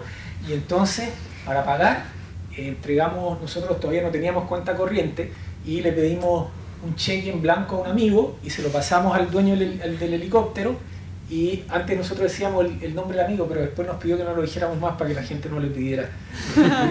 y entonces, eh, eh, eso fue un viernes, no teníamos dinero, habíamos financiado la impresión de los marcadores del libro con, eh, con estas fiestas, pero también la imprenta, cuando supo que nosotros íbamos a hacer esto, la imprenta dijo, ustedes solamente van a pagar la, los materiales y la mano de obra la ponemos nosotros. Y entonces estábamos, no, teníamos ya impreso y pagado los poemas, pero no teníamos el dinero para cubrir el cheque en blanco. Hicimos esta fiesta y juntamos una cantidad de dinero y eh, a la vez el, el- Festival Chile Poesía que estaba teniendo lugar nos dio otra cantidad de dinero a cambio que nosotros lanzáramos los panfletos del festival. Y así, el, el lunes en la mañana, pudimos eh, eh, cubrir el cheque y nos quedamos con una deuda de 20, ve- ve- más o menos como 30 dólares, 20 mil pesos chilenos. Y de- después, cuando se lo contamos a, a Jodorowsky, que lo conocimos como seis meses después, nos dijo, pero ¿cómo? ¿Le sirven los marcos alemanes? Que había marcos en aquella época, todavía no estaba el euro. Y, eh, claro, pero después Jodorowsky le dijo a alguien de que él había, nos había financiado. Entonces, eh, en, en esta fecha se descubre este proyecto eh, y ahí obviamente que nosotros vamos a mostrarles un video de la experiencia en Milán eh, para que vean cómo hemos evolucionado también. ¿Puedes pasar a los, los permisos? y- Ahí están los, los cinco, los- las cinco previsiones que tuvimos que sortear para lanzar poemas en Chile. Y acá hay una lista para que tengan de, de referencia los permisos que, hemos, eh, que, hacen, que, de que se han necesitado en las ciudades después de Chile. Claro. En Londres fue porque fue en, en los Cultural Olympics. Fuimos la, la primera, la actividad principal de los Cultural Olympics. Y entonces ahí como todo el, el- había todo el dilema de- de del terrorismo y entonces tuvimos que reunirnos muchas veces y gestionar 16 permisos. Madrid 8 y así. Est- Esto, estos permisos no incluyen los permisos para pedir permiso, que en- en Berlín fueron varios más. Sí, pero hay un caso bien particular, el caso de Milán, eh, que nos costó bastante el tema de los permisos. Bueno, ya, ya algo se, se, se ha hablado al respecto, pero cuando ya estábamos listos, entre comillas listos, con hacerlo en la Piazza del Duomo en Milán, eh, había un pequeño detalle y es que la, la iglesia, la catedral, es del Vaticano, que es, una ciudad-estado. Por lo tanto, todos los trámites que habíamos hecho con, con los italianos tuvimos que duplicarlos para que nos autorizara el Vaticano a poder bombardear una parte de la plaza que era territorio de otro estado. Bajo la condición que el helicóptero nunca podía estar sobre el espacio aéreo del domo, porque es espacio sagrado. Lo importante de este es que este es un proyecto que en el fondo con el tiempo demora más o menos dos años desde que se decide que se va a hacer en una ciudad. O sea, son dos años para una performance que dura 40 minutos. Y eso es lo que es, es, como un elemento igual importante de la manera en que nosotros trabajamos y de lo que genera la imagen. O sea, detrás de esas imágenes están esos dos años de esfuerzo, creo. Eh, al igual que los proyectos del metro, y es, un, es un, un, tema de discusión a veces en las ciudades donde nosotros vamos, es que eh, los poetas que se invitan no pueden ser mayores que Julio, que es el mayor de nosotros. Y eso siempre genera una dificultad porque eh, en este proyecto están en, hay, muchos, hay con mucha política, las embajadas se meten, es un proyecto bien abierto, entonces todos opinan. Entonces nunca entienden por qué no está la Mistral, no está Neruda, que son los representantes de Chile.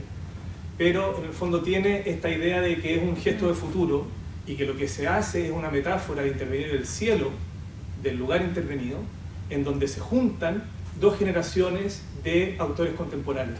Porque siempre invitamos a 50 autores chilenos y 50 autores del país local menores que la de Julio, que no la vamos a decir ya está edad, que son pero más o menos cuarenta y tanto. Ya nos decimos que somos poetas jóvenes. Sí. Y todo se traduce. Eh, la primera vez que nosotros trabajamos con inglés fue en Londres, y los ingleses no lo podían creer de que en el fondo cómo no teníamos los libros en inglés. Y siempre se hace en el fondo en, en castellano y se traduce al idioma del país local. E, y, y lo mismo con los poetas locales que en el fondo son traducidos al español, entonces hay todo un trabajo con la traducción, ustedes en el fondo lo conocen eh, bien, eh, que hay una red también de en el fondo traductores que nos ayudan a hacer las traducciones de los poemas que, que, que sabemos que es un, un, un, trabajo en el fondo profesional difícil de hacer. Sí, lo importante es que para mostrar por ahí si es que hay algún marcalibro por el reverso antes de, la, de, de este eh, nosotros cuidamos también la imagen del reverso del, del marcalibro, que no tenga ningún logo, ningún auspiciador. Sí, son, ni... son limpios. Son limpio. Y eso también siempre con, la, con las autoridades o con las empresas que de alguna manera ayudan a financiar esto, siempre es un tema difícil de sortear, pero lo hemos hecho. Y aquí, en el, estos son los poemas que, que lanzamos, el reverso de los poemas que lanzamos en Londres. Aquí pasó algo, porque en un momento estaba tambaleando el proyecto. Siempre, siempre los bombardeos de poemas tienen una gestión muy difícil y complicada que en este caso fue triplemente difícil, aunque no fue más difícil de lo que resultó de, eh, Milán después, ni tampoco lo, lo, que había sido Berlín antes. Pero había, había un momento en que estaba muy complicado y eh, nuestros socios en, Londres, que eran South Bank, South Bank Center, nos pidieron cambiar la fecha para el 26 de junio, que es la fecha del cumpleaños de Allende. Y entonces en ese momento como que, como que supimos supimos de que era imposible que el proyecto no se realizara. Era imposible que, fuera, que no fuera exitoso porque era como una especie de señal, así como de, de, de, del otro mundo, de que nos decía de que, que, nos da, que nos daba confianza. Y efectivamente fue así, y nosotros como homenaje, para homenajear la fecha, pusimos, si uno junta 20 marca el libro por el reverso, se forma una imagen de la moneda en llamas. Entonces cuando nosotros lanzamos... No se logra ver cuando, ver el edificio instaló cuando, cuando, lanzamos, aquí está el edificio. Bueno, solo nosotros sabíamos. Bueno, nadie lo sabe. ¿no? Entonces, cuando caían, cuando caían esos poemas en, en, Londres, en realidad lo que estaba cayendo al, al mismo tiempo era un, un, fragmento de la historia de la historia de Chile, pero también un, una historia personal nuestra, porque fue un gesto que cambió nuestras vidas para, para siempre, sí. de una manera muy importante. Entonces, y esto es lo que estábamos homenajeando. Sí. Y bueno, ya han pasado eh, muchas cosas. Eh, una de las cosas que nosotros también hacemos es que eh, en el fondo publicamos un libro con la selección de los autores, con algunas imágenes del proyecto y en el fondo se invita a algunos autores académicos, intelectuales, a que escriban sobre el sentido que tiene. Entonces acá está el libro de, de, ese es el de Londres, que lo, el de Madrid que lo lanzamos ahora en mayo, en marzo, y ese es el de Londres que en Londres tuvo la particularidad, en el fondo siempre hay que ser flexible, eh, además de los autores chilenos y del Reino Unido, dado que eran los Cultural Olympics y estábamos trabajando con South Bank Center, ellos tenían un festival de poesía, el Parnassus Festival, que incluía autores de todos los países que van a los Juegos, que son 204. Entonces nos pidieron que incluyéramos todos los autores que venían a ese festival. O sea, se lanzaron 300 poemas diferentes de todos los países del mundo, salvo Mónaco, que no tenía poeta. O sea, eso dijeron en la embajada. No, no, no, aquí dijeron que, no hay poeta en Mónaco. Entonces Londres tenía esa salvedad de que en el fondo la caja de los poemas de Londres en el fondo son, son más o menos 300 eh, po- poemas diferentes. Si uno abre el libro de Londres, se va a encontrar con un panorama de, de- de- de- lo que está pasando en, en- en poesía en el mundo, porque uno se puede encontrar poetas de Marruecos, de los Emiratos Árabes, de todas partes. Está traducido al inglés y al castellano. Y trajimos también un, un par de ejemplares para vender. Y si se fijan, así como en resumen, eh, bueno, en Dubrovnik es el único, el único lugar donde no hemos ocupado eh, el helicóptero porque no había.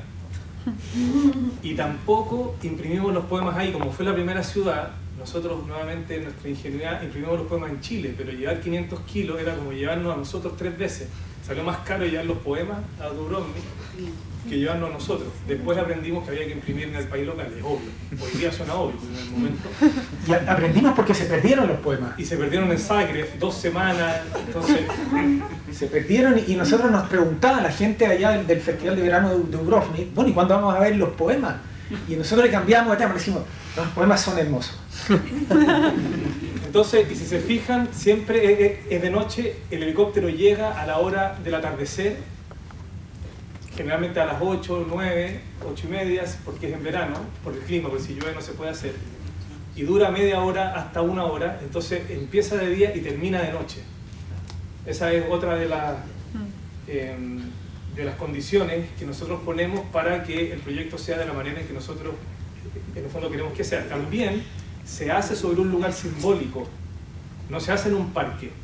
No, eh, en el fondo tiene que ser un lugar reconocible. Y bueno, aquí está en Guernica, que en el fondo fuimos al País Vasco. Otra cosa común que tienen lo- lo- los bombardeos es que nos, nos preguntan siempre cuando estamos negociando quién va a barrer los papelitos. Y eh, nosotros le, le- le explicamos de que no es necesario porque la gente lo recoge todo, pero, pero cuesta, cuesta eh, eh, asumir de que media tonelada de poemas va a desaparecer. Y eso es lo que pasa cinco minutos después de que se ha ido el helicóptero, no queda un solo poema en el suelo.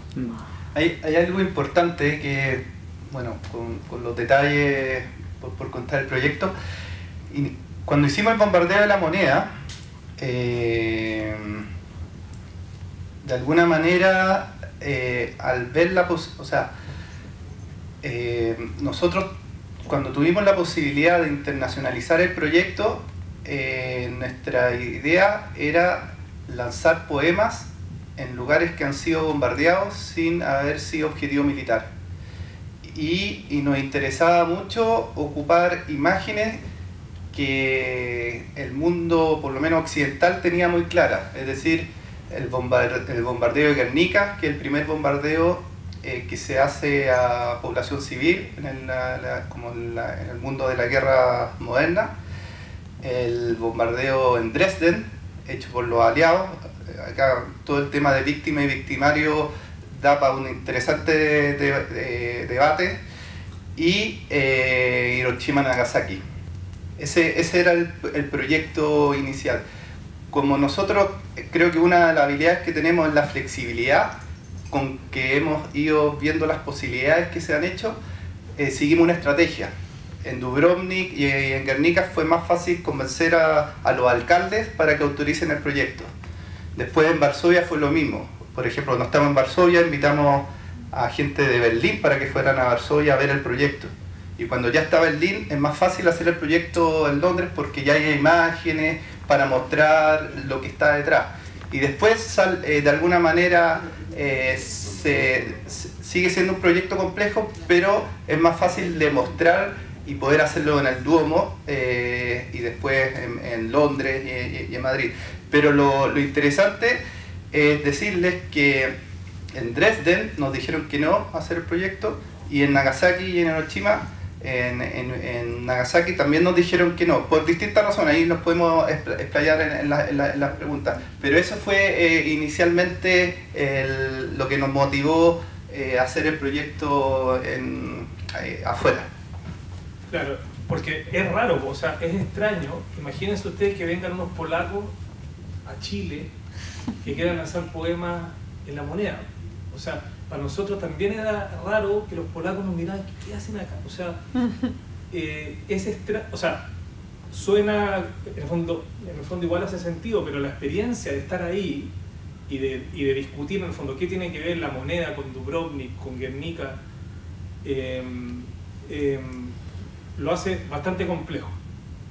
Porque hay que hacerse cargo, hay que hacerse responsable, pero lo que nosotros en el fondo queríamos, y hasta el día de hoy, que es lo que en el fondo buscamos, es repetir, replicar la experiencia que nosotros tuvimos en Chile en otro lugar que haya tenido una experiencia similar en el pasado. Más allá del contexto histórico en donde esa destrucción se dio. Eh, bueno, fuimos a Milán y Madrid, y ahora les vamos a mostrar para terminar y dar el espacio para las preguntas, eh, el, el video de Milán.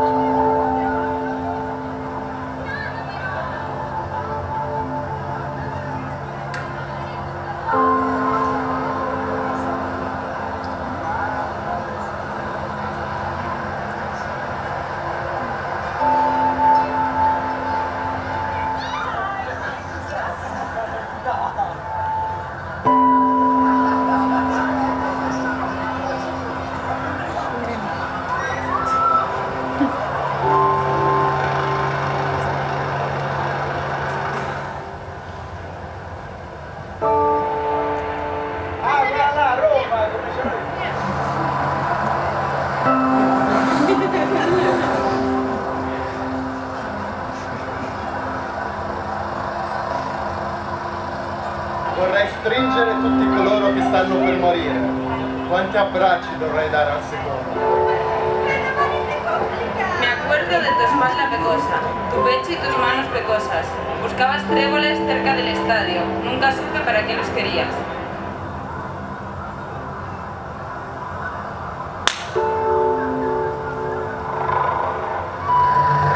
Non c'è posta per te nei ghiacci del bianco. Da un aereo precipitato in uno strano passato che quelle parole finiscano in un piatto.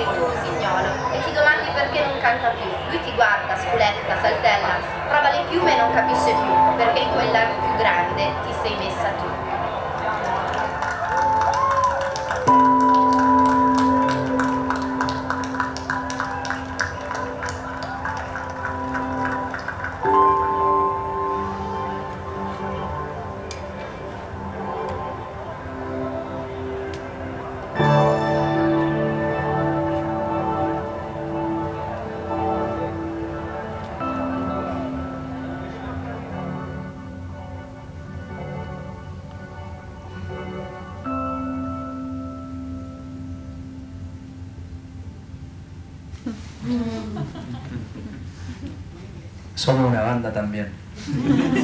Bueno, y ahí somos, estamos tocando, somos también somos una- un grupo de, de música, tocamos baladas románticas, Tocamos con Pedro Aznar. y, y estamos, en el, estamos en el soundtrack de cuatro películas chilenas. Y en Londres, el 2012, en el Festival Royal Hall, En el Royal Festival Hall. El mismo lugar donde había tocado... David Bowie una semana antes. Un- no, no, no. El año anterior David Bowie había tocado el mismo lugar y a él no le pidieron otra. Otra cantando en español.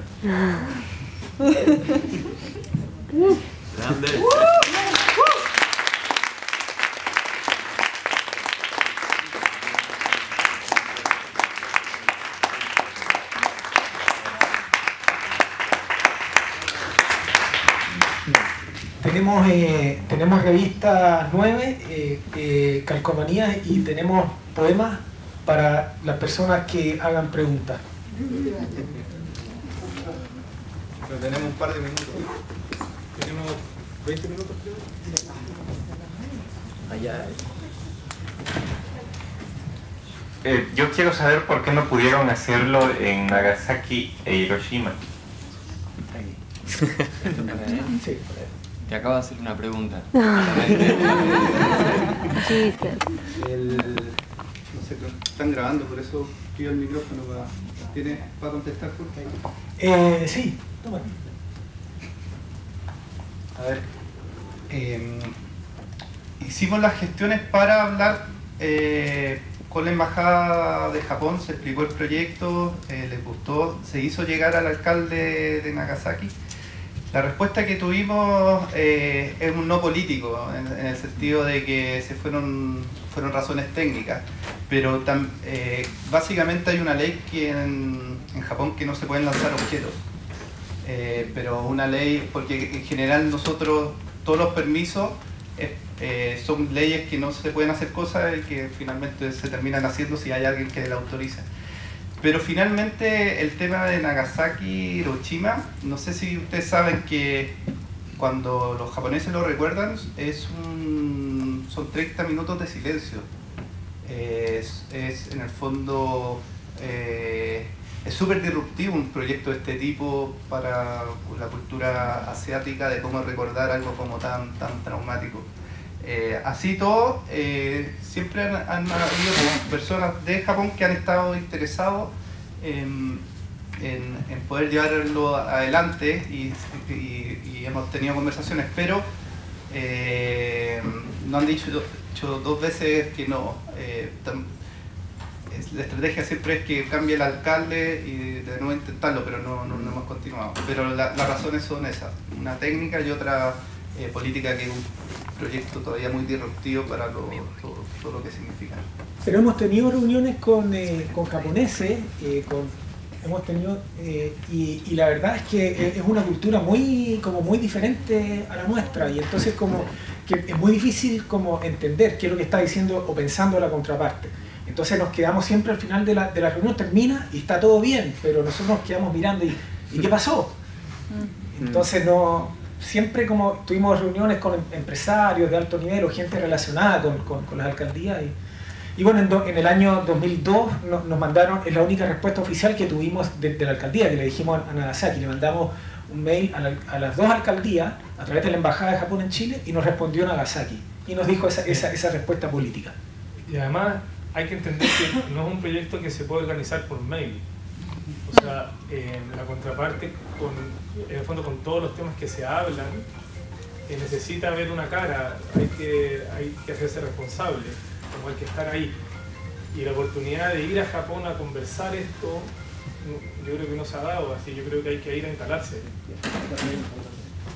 Esta por, por- por la pregunta. Muchas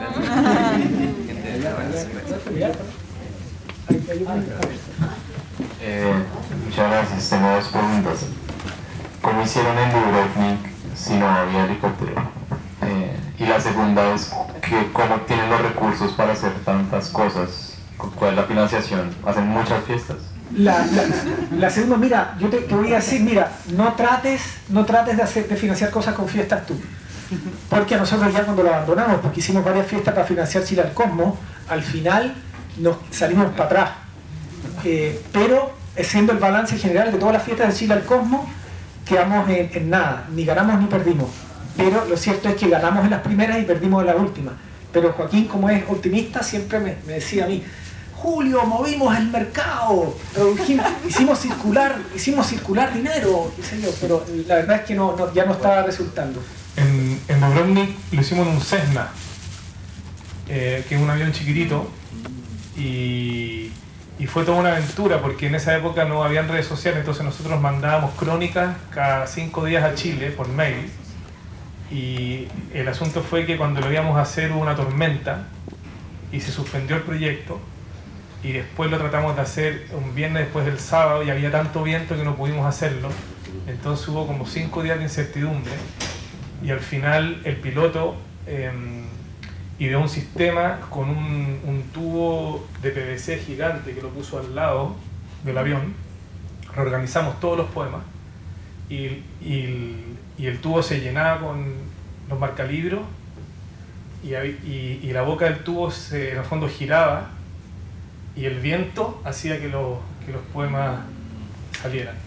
O sea, lo, lo- lo más importante es eh, que aprendimos nunca hacerlo en una avioneta porque eh, se da el efecto tomboleta. Porque cuando se abrían las ventanas entraba eh, un viento circular que hacía que los poemas que estaban en el suelo para lanz- lanzarse empezaran a dar vuelta igual que esas tomboletas donde hacen los concursos para sacar.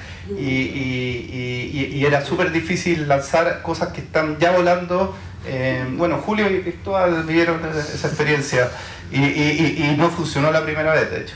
De hecho, la, la primera vez eh, fue, fue un fracaso por las condiciones climáticas que eran muy adversas, había mucho viento y logramos lanzar eh, como 500, 500 poemas solamente. Eh, yo, yo cuando iba al otro día por allá, como que la gente me, de repente del cibercafé donde la, mandábamos los mails, o que me, me felicitaban, decían, bravo, bravo, y, como que a mí yo me moría de vergüenza porque lanzamos solamente 500 poemas que se fueron a dar a cualquier parte y entonces no, tenía cómo explicarle, eso no es un bombardeo, todavía no lo hemos hecho. Y entonces realmente vivimos momentos muy de, mucha complicación. ¿Qué pasó? De que salió en la prensa de que la culpa del fracaso de ese día había sido el piloto. Y el piloto se enojó y entonces él implementó este sistema con el tubo PVC, que era el que había usado él durante la guerra de los Balcanes para lanzar bombas desde la, desde la avioneta. Y entonces eh, él, nos avisó a nosotros una, una hora antes de que ya no iba a haber tormenta. Fue la peor tormenta en mucho tiempo. Se inundó Dresden, de hecho.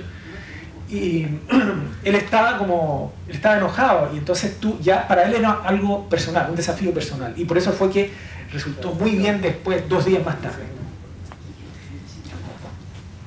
Para terminar el tema del financiamiento, eh, la verdad es que proyecto a proyecto vamos eh, obteniendo apoyo de distintas instituciones. Yo te diría que la mayoría de los bombardeos de poemas han sido financiados por los países anfitriones. ¿ya? En dos oportunidades nomás nos ha ayudado el gobierno de Chile, pero... eh, Sí, o sea, siempre, o sea, en el fondo cada ciudad es, es una historia en sí misma, de alguna forma. Lo que sí, eh, lo que se repite es que una de nuestras estrategias es que nosotros nunca, en el fondo, pedimos dinero, lo que pedimos es que nos dejen hacerlo. Porque eso es más, más, más difícil que conseguir la plata, porque la plata no se puede conseguir si no tienes el permiso. ¿no? Y además está el tema que nosotros no somos personalidad jurídica. A nosotros, yo nosotros no- un proyecto así, no sé, estamos hablando no sé, de 30.000 euros para arriba, ¿ya? Nosotros no vamos a recibir esa cantidad de dinero. Nosotros financi- o sea, eh, proponemos actividades, las actividades se financian y vamos viendo los socios que las van desarrollando y ayudándonos.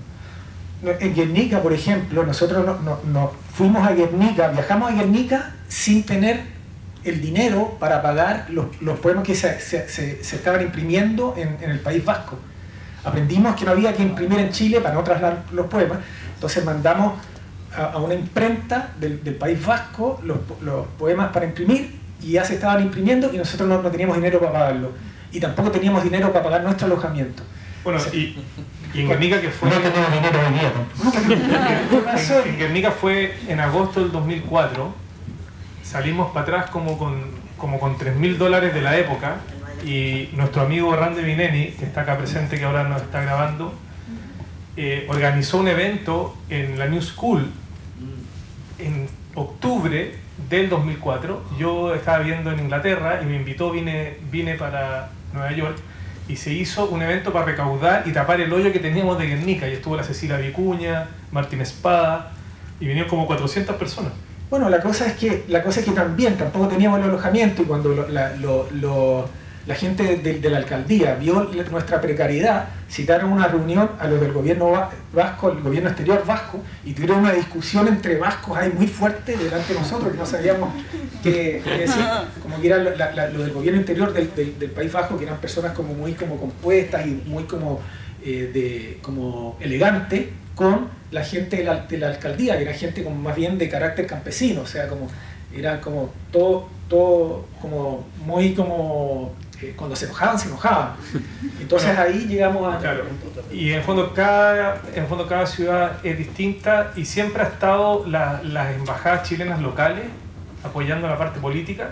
Y pidiéndonos... Y Irak, de que pone como los pasajes, que es como un 10% de lo que vale el proyecto, diría yo. Y siempre nos piden las embajadas chilenas que pongamos una bandera, en el, una bandera chilena en el helicóptero. Sí, bueno, eso es otra historia de cómo lidia con diplomático. Yeah, can I ask in English? Yes. In English, yes.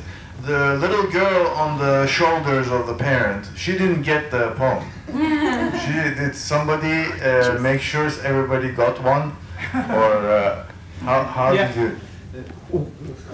I will say that what happened in, a, in, in the ground is that there is a sort of re- regression to childhood when you see for, uh, I don't know, snow for, for kind of uh, snow for first time. So these create a sort of madness in the audience. So the people read poems, but also they share a lot, and also they fight for the poems. Yes. It's not a kind of violent fight, but but there is a sort of fight. So so if you can see, for example, the video in London, there is a lot of people that give a poem to someone that don't have it or don't get a poem. The Germans, the Germans were uh, surprised about their own attitude, their own behavior, because they, uh, they, they were shaking the trees to get the poems. they were just, they, they are so serious people, you know, so, but, but they were just acting like, like, like kids. And, and in Warsaw, they were very impressed because they said, "You don't know Polish people. We're super like serious."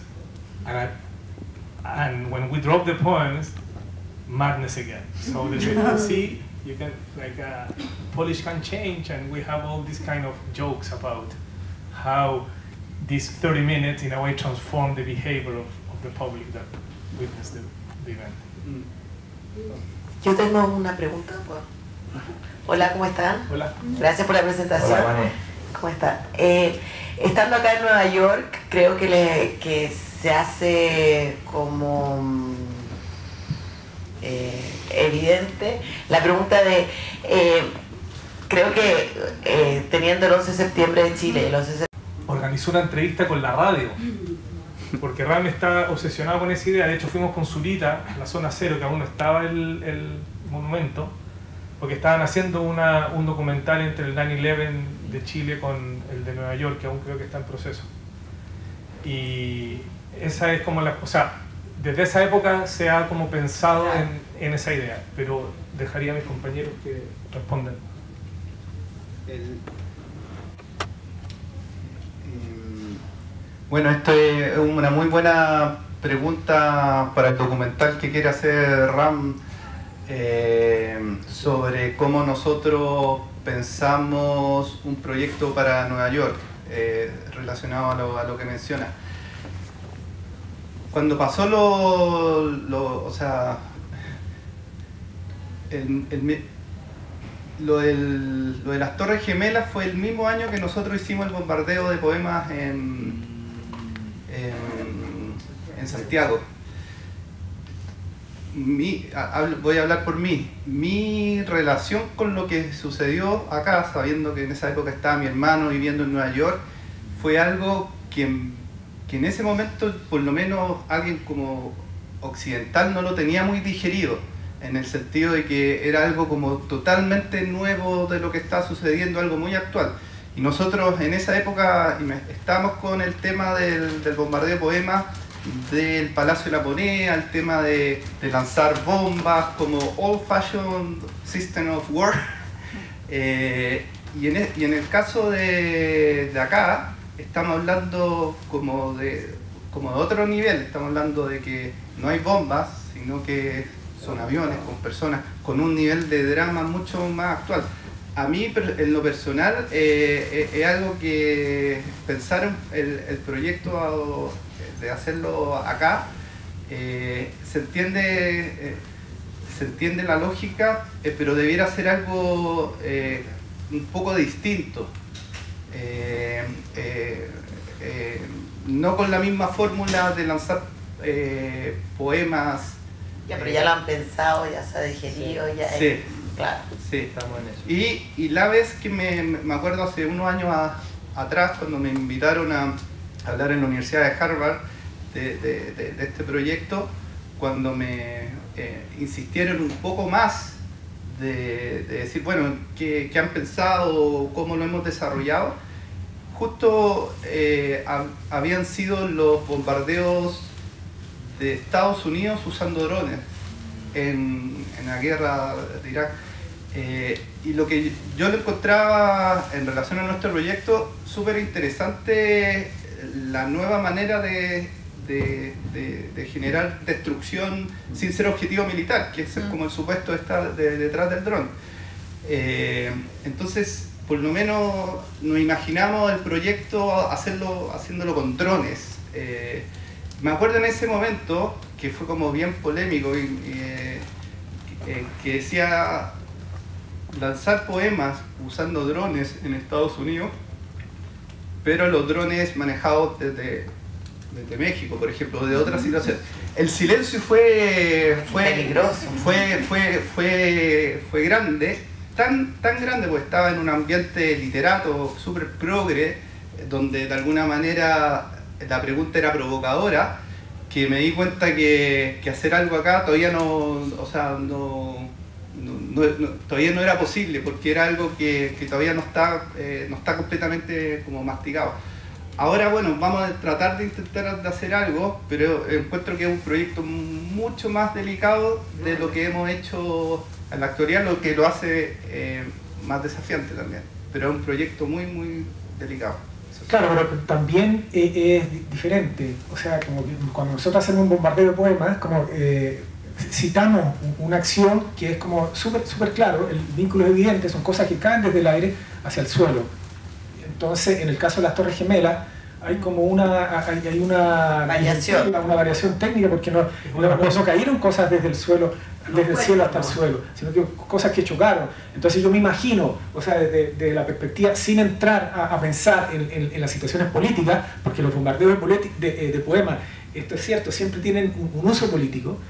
Eh, por ejemplo, en, en, Croacia se usó primero los, croatas para ponerse como víctimas de la guerra, en la cual ellos también fueron victimarios, eh, también fue un, lo usaron también para mandar una señal al mundo de que ya había pasado la guerra y que por lo tanto los turistas podían ir a, a Dubrovnik, que era como el centro neurálgico, era como que la, era la competencia de, de Venecia antes de la guerra de los Balcanes.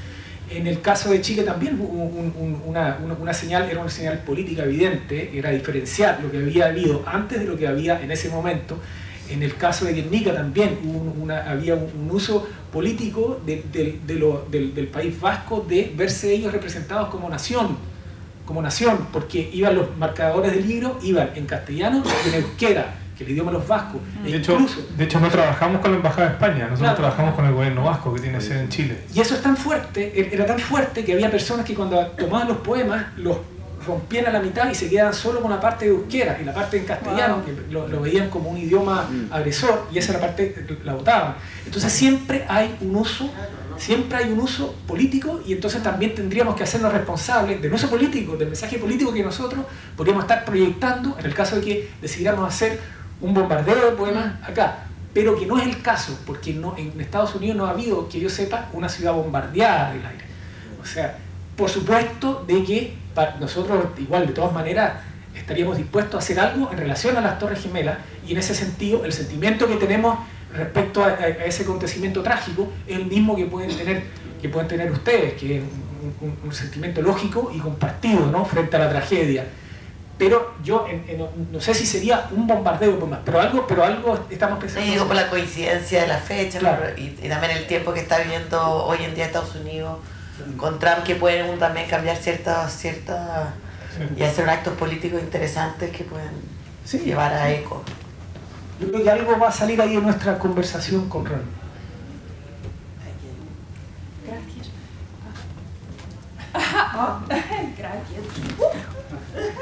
Ah, Gracias a ustedes no solo por esta presentación magnífica, pero también por hacer a los bombardeos ah, por todos estos años. Y am, quería saber, imagino que ustedes quieren ah, continuar a hacer estos bombardeos en ah, varios países. Ah, y yo que he crecido en Rusia, ahí am, los poetas pueden ser ve- verdaderos héroes, que son... eh, y me, preguntaba si sería posible hacer un bombardeo, por ejemplo, de Moscú, donde el eh, tirano como ah, Putin am, es el rey, ahora es el... eh, tiene, lo, lo dicen rusos que es como un zar quien eh, no va a dejar el gobierno hasta que muera. Entonces, por el pueblo que ama tanto la poesía y el eh, tirano, el, eh, quien tiene la rueda, como ve- ven ustedes situaciones como esta?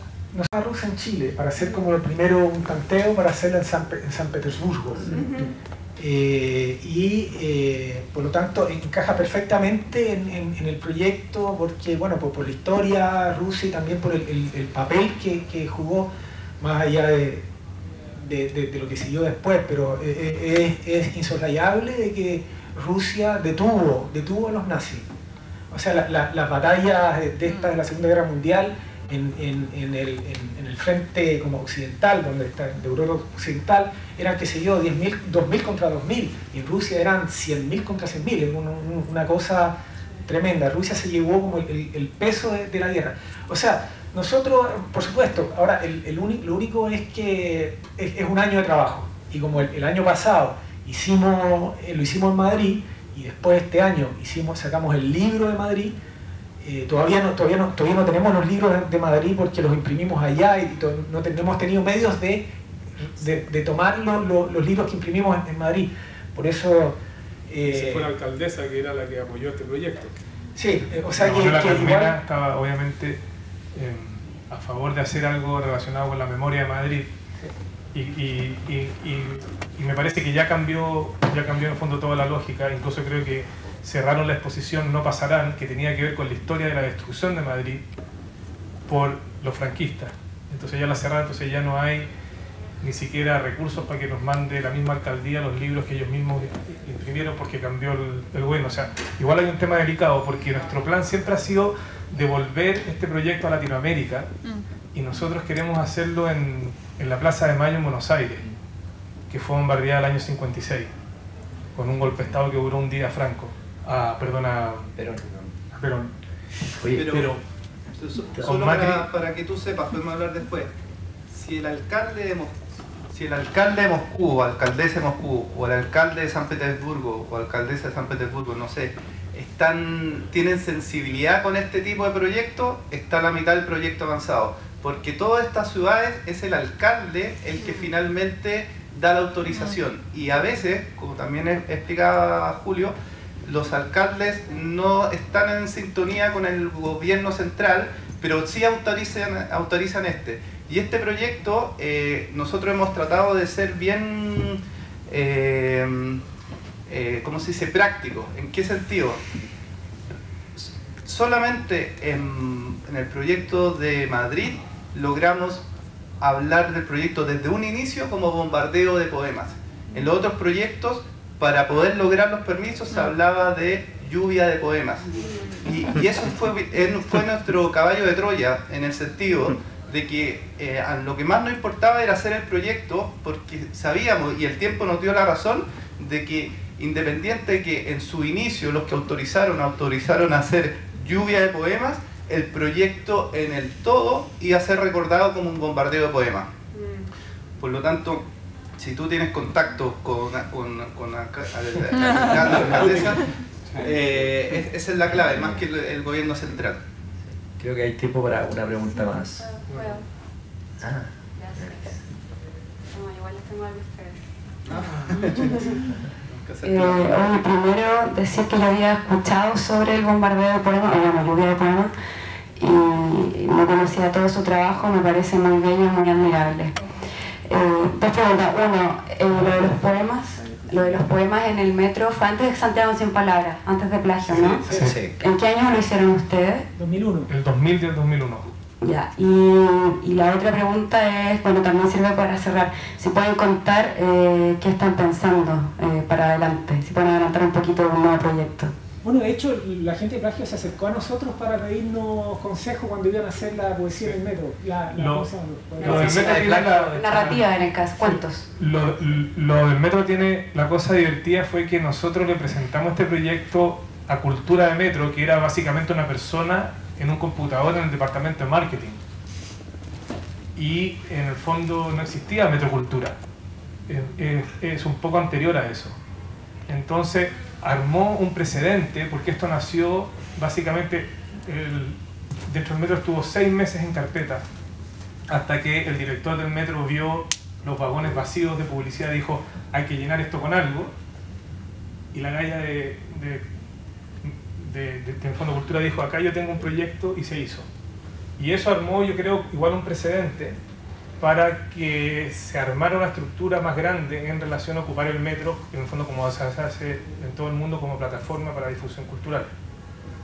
Pero fue como uno o dos años del, del concurso Santiago sin Palabras. Y ahora, bueno, como... Ah, y ahora, bueno, nosotros teníamos un proyecto para hacer en México, en, en el Zócalo, que se llama Humo. Eh, además teníamos un proyecto de el de las palabras en internet, ¿cómo era eso? Un proyecto que pensábamos hacer acá en, en, en Nueva York que era, bueno, era ocupar la tecnología georreferencial para poder eh, eh, escribir ciertos mensajes tomándonos Manhattan como, además, no solamente por, por algo se habló ya el tema de, de hacer un proyecto en Nueva York, pero más con foco el tema de la migración y, la, y del mundo latino y de escritores también latinos acá en, en Nueva York. Está incidente. Nos Y gustaría también bueno, hacer un libro, un libro de los 25 años de Casa Grande que reúna todo lo que ustedes vieron más otras cosas que no contamos, que eso creo que sería algo como para pensar a como largo plazo hacer un documento. Porque nosotros dentro del mundo como tradicional de las artes y de la literatura estamos siempre un poco al margen, como que en el fondo nosotros tenemos nuestra propia ruta. Más que alternativos somos como autónomos. Entonces, en el fondo, nosotros hacemos nuestras propias em, inve- nos invitamos solo a publicar nuestras cosas. Nosotros tenemos un récord de 70 proyectos rechazados por el Fondar. Hemos ganado el Fondar, eso sí, como 10 veces, pero tenemos un récord de como 70 rechazos. Queremos hacer King Kong 2 también, la segunda parte. Eh, nos han rechazado dos, dos proyectos de King Kong 2. Dos veces nos han rechazado King Kong 2. para, para que suba la Torre Santa María. Pero el, el- el proyecto en Nueva York, en todo caso, es la escritura de un- una palabra, un verso en Manhattan, en, en un tamaño que pueda ser visto desde una altura mayor, pero que no, pero que no va a estar escrito, sino que está, va a estar construido con, con los mismos dispositivos de las redes sociales. Y la idea es ir caminando por esas letras y palabras. El problema interno que hemos tenido y que yo creo que paró el proyecto, disculpen compañeros, es que nunca eh, no, no hemos logrado un acuerdo en qué palabra eh, ocupar. Eh, porque todas las que se, los que las que han los que han aparecido han sido vetadas con justa razón y buenas razones. Por los distintos miembros del... Eh, eh, porque finalmente, bueno, se, se juega todo. Ustedes vienen del mundo de la literatura, en lo que estaba escrito en esa palabra. Pero la idea era. Yo creo que tenemos una red de más de 500, 600 poetas a lo largo de, de todo el mundo, todos menores que Julio. Eh, y la idea es construir esa palabra eh, con poemas de cada uno de ellos. Es decir, en cada esquina de Nueva York hay un punto eh, donde tú de alguna manera vas avanzando y puedes escuchar el poema ligado a, a ese punto y que además está escrito. Entonces, la idea es ir caminando y tú vas escuchando poemas y al mismo tiempo estás pasando por una letra y si quieres hacer el, el tour completo puedes estar horas y horas caminando. Es una idea de caminar por la ciudad con relación con la poesía en algo que tú sabes que tiene una perspectiva de una escritura mayor, muy, muy ligada al tema de land arts o la escritura en, en- en naturaleza, pero, pero, pero más urbana. Eh, pero, pero nuevamente la palabra es la clave y yo creo que no, no, no la nunca, eh, no- va a terminar como el vaquero chileno. No, pero también fundamentalmente es poetas de países, ojalá latinoamericanos, o sea, también teníamos ese rollo, el tema de la inmigración, fundamentalmente tocar eso. Parece que estamos, ¿no? Sí. Que este local lo van a cerrar en algún momento y hay mucho vino que...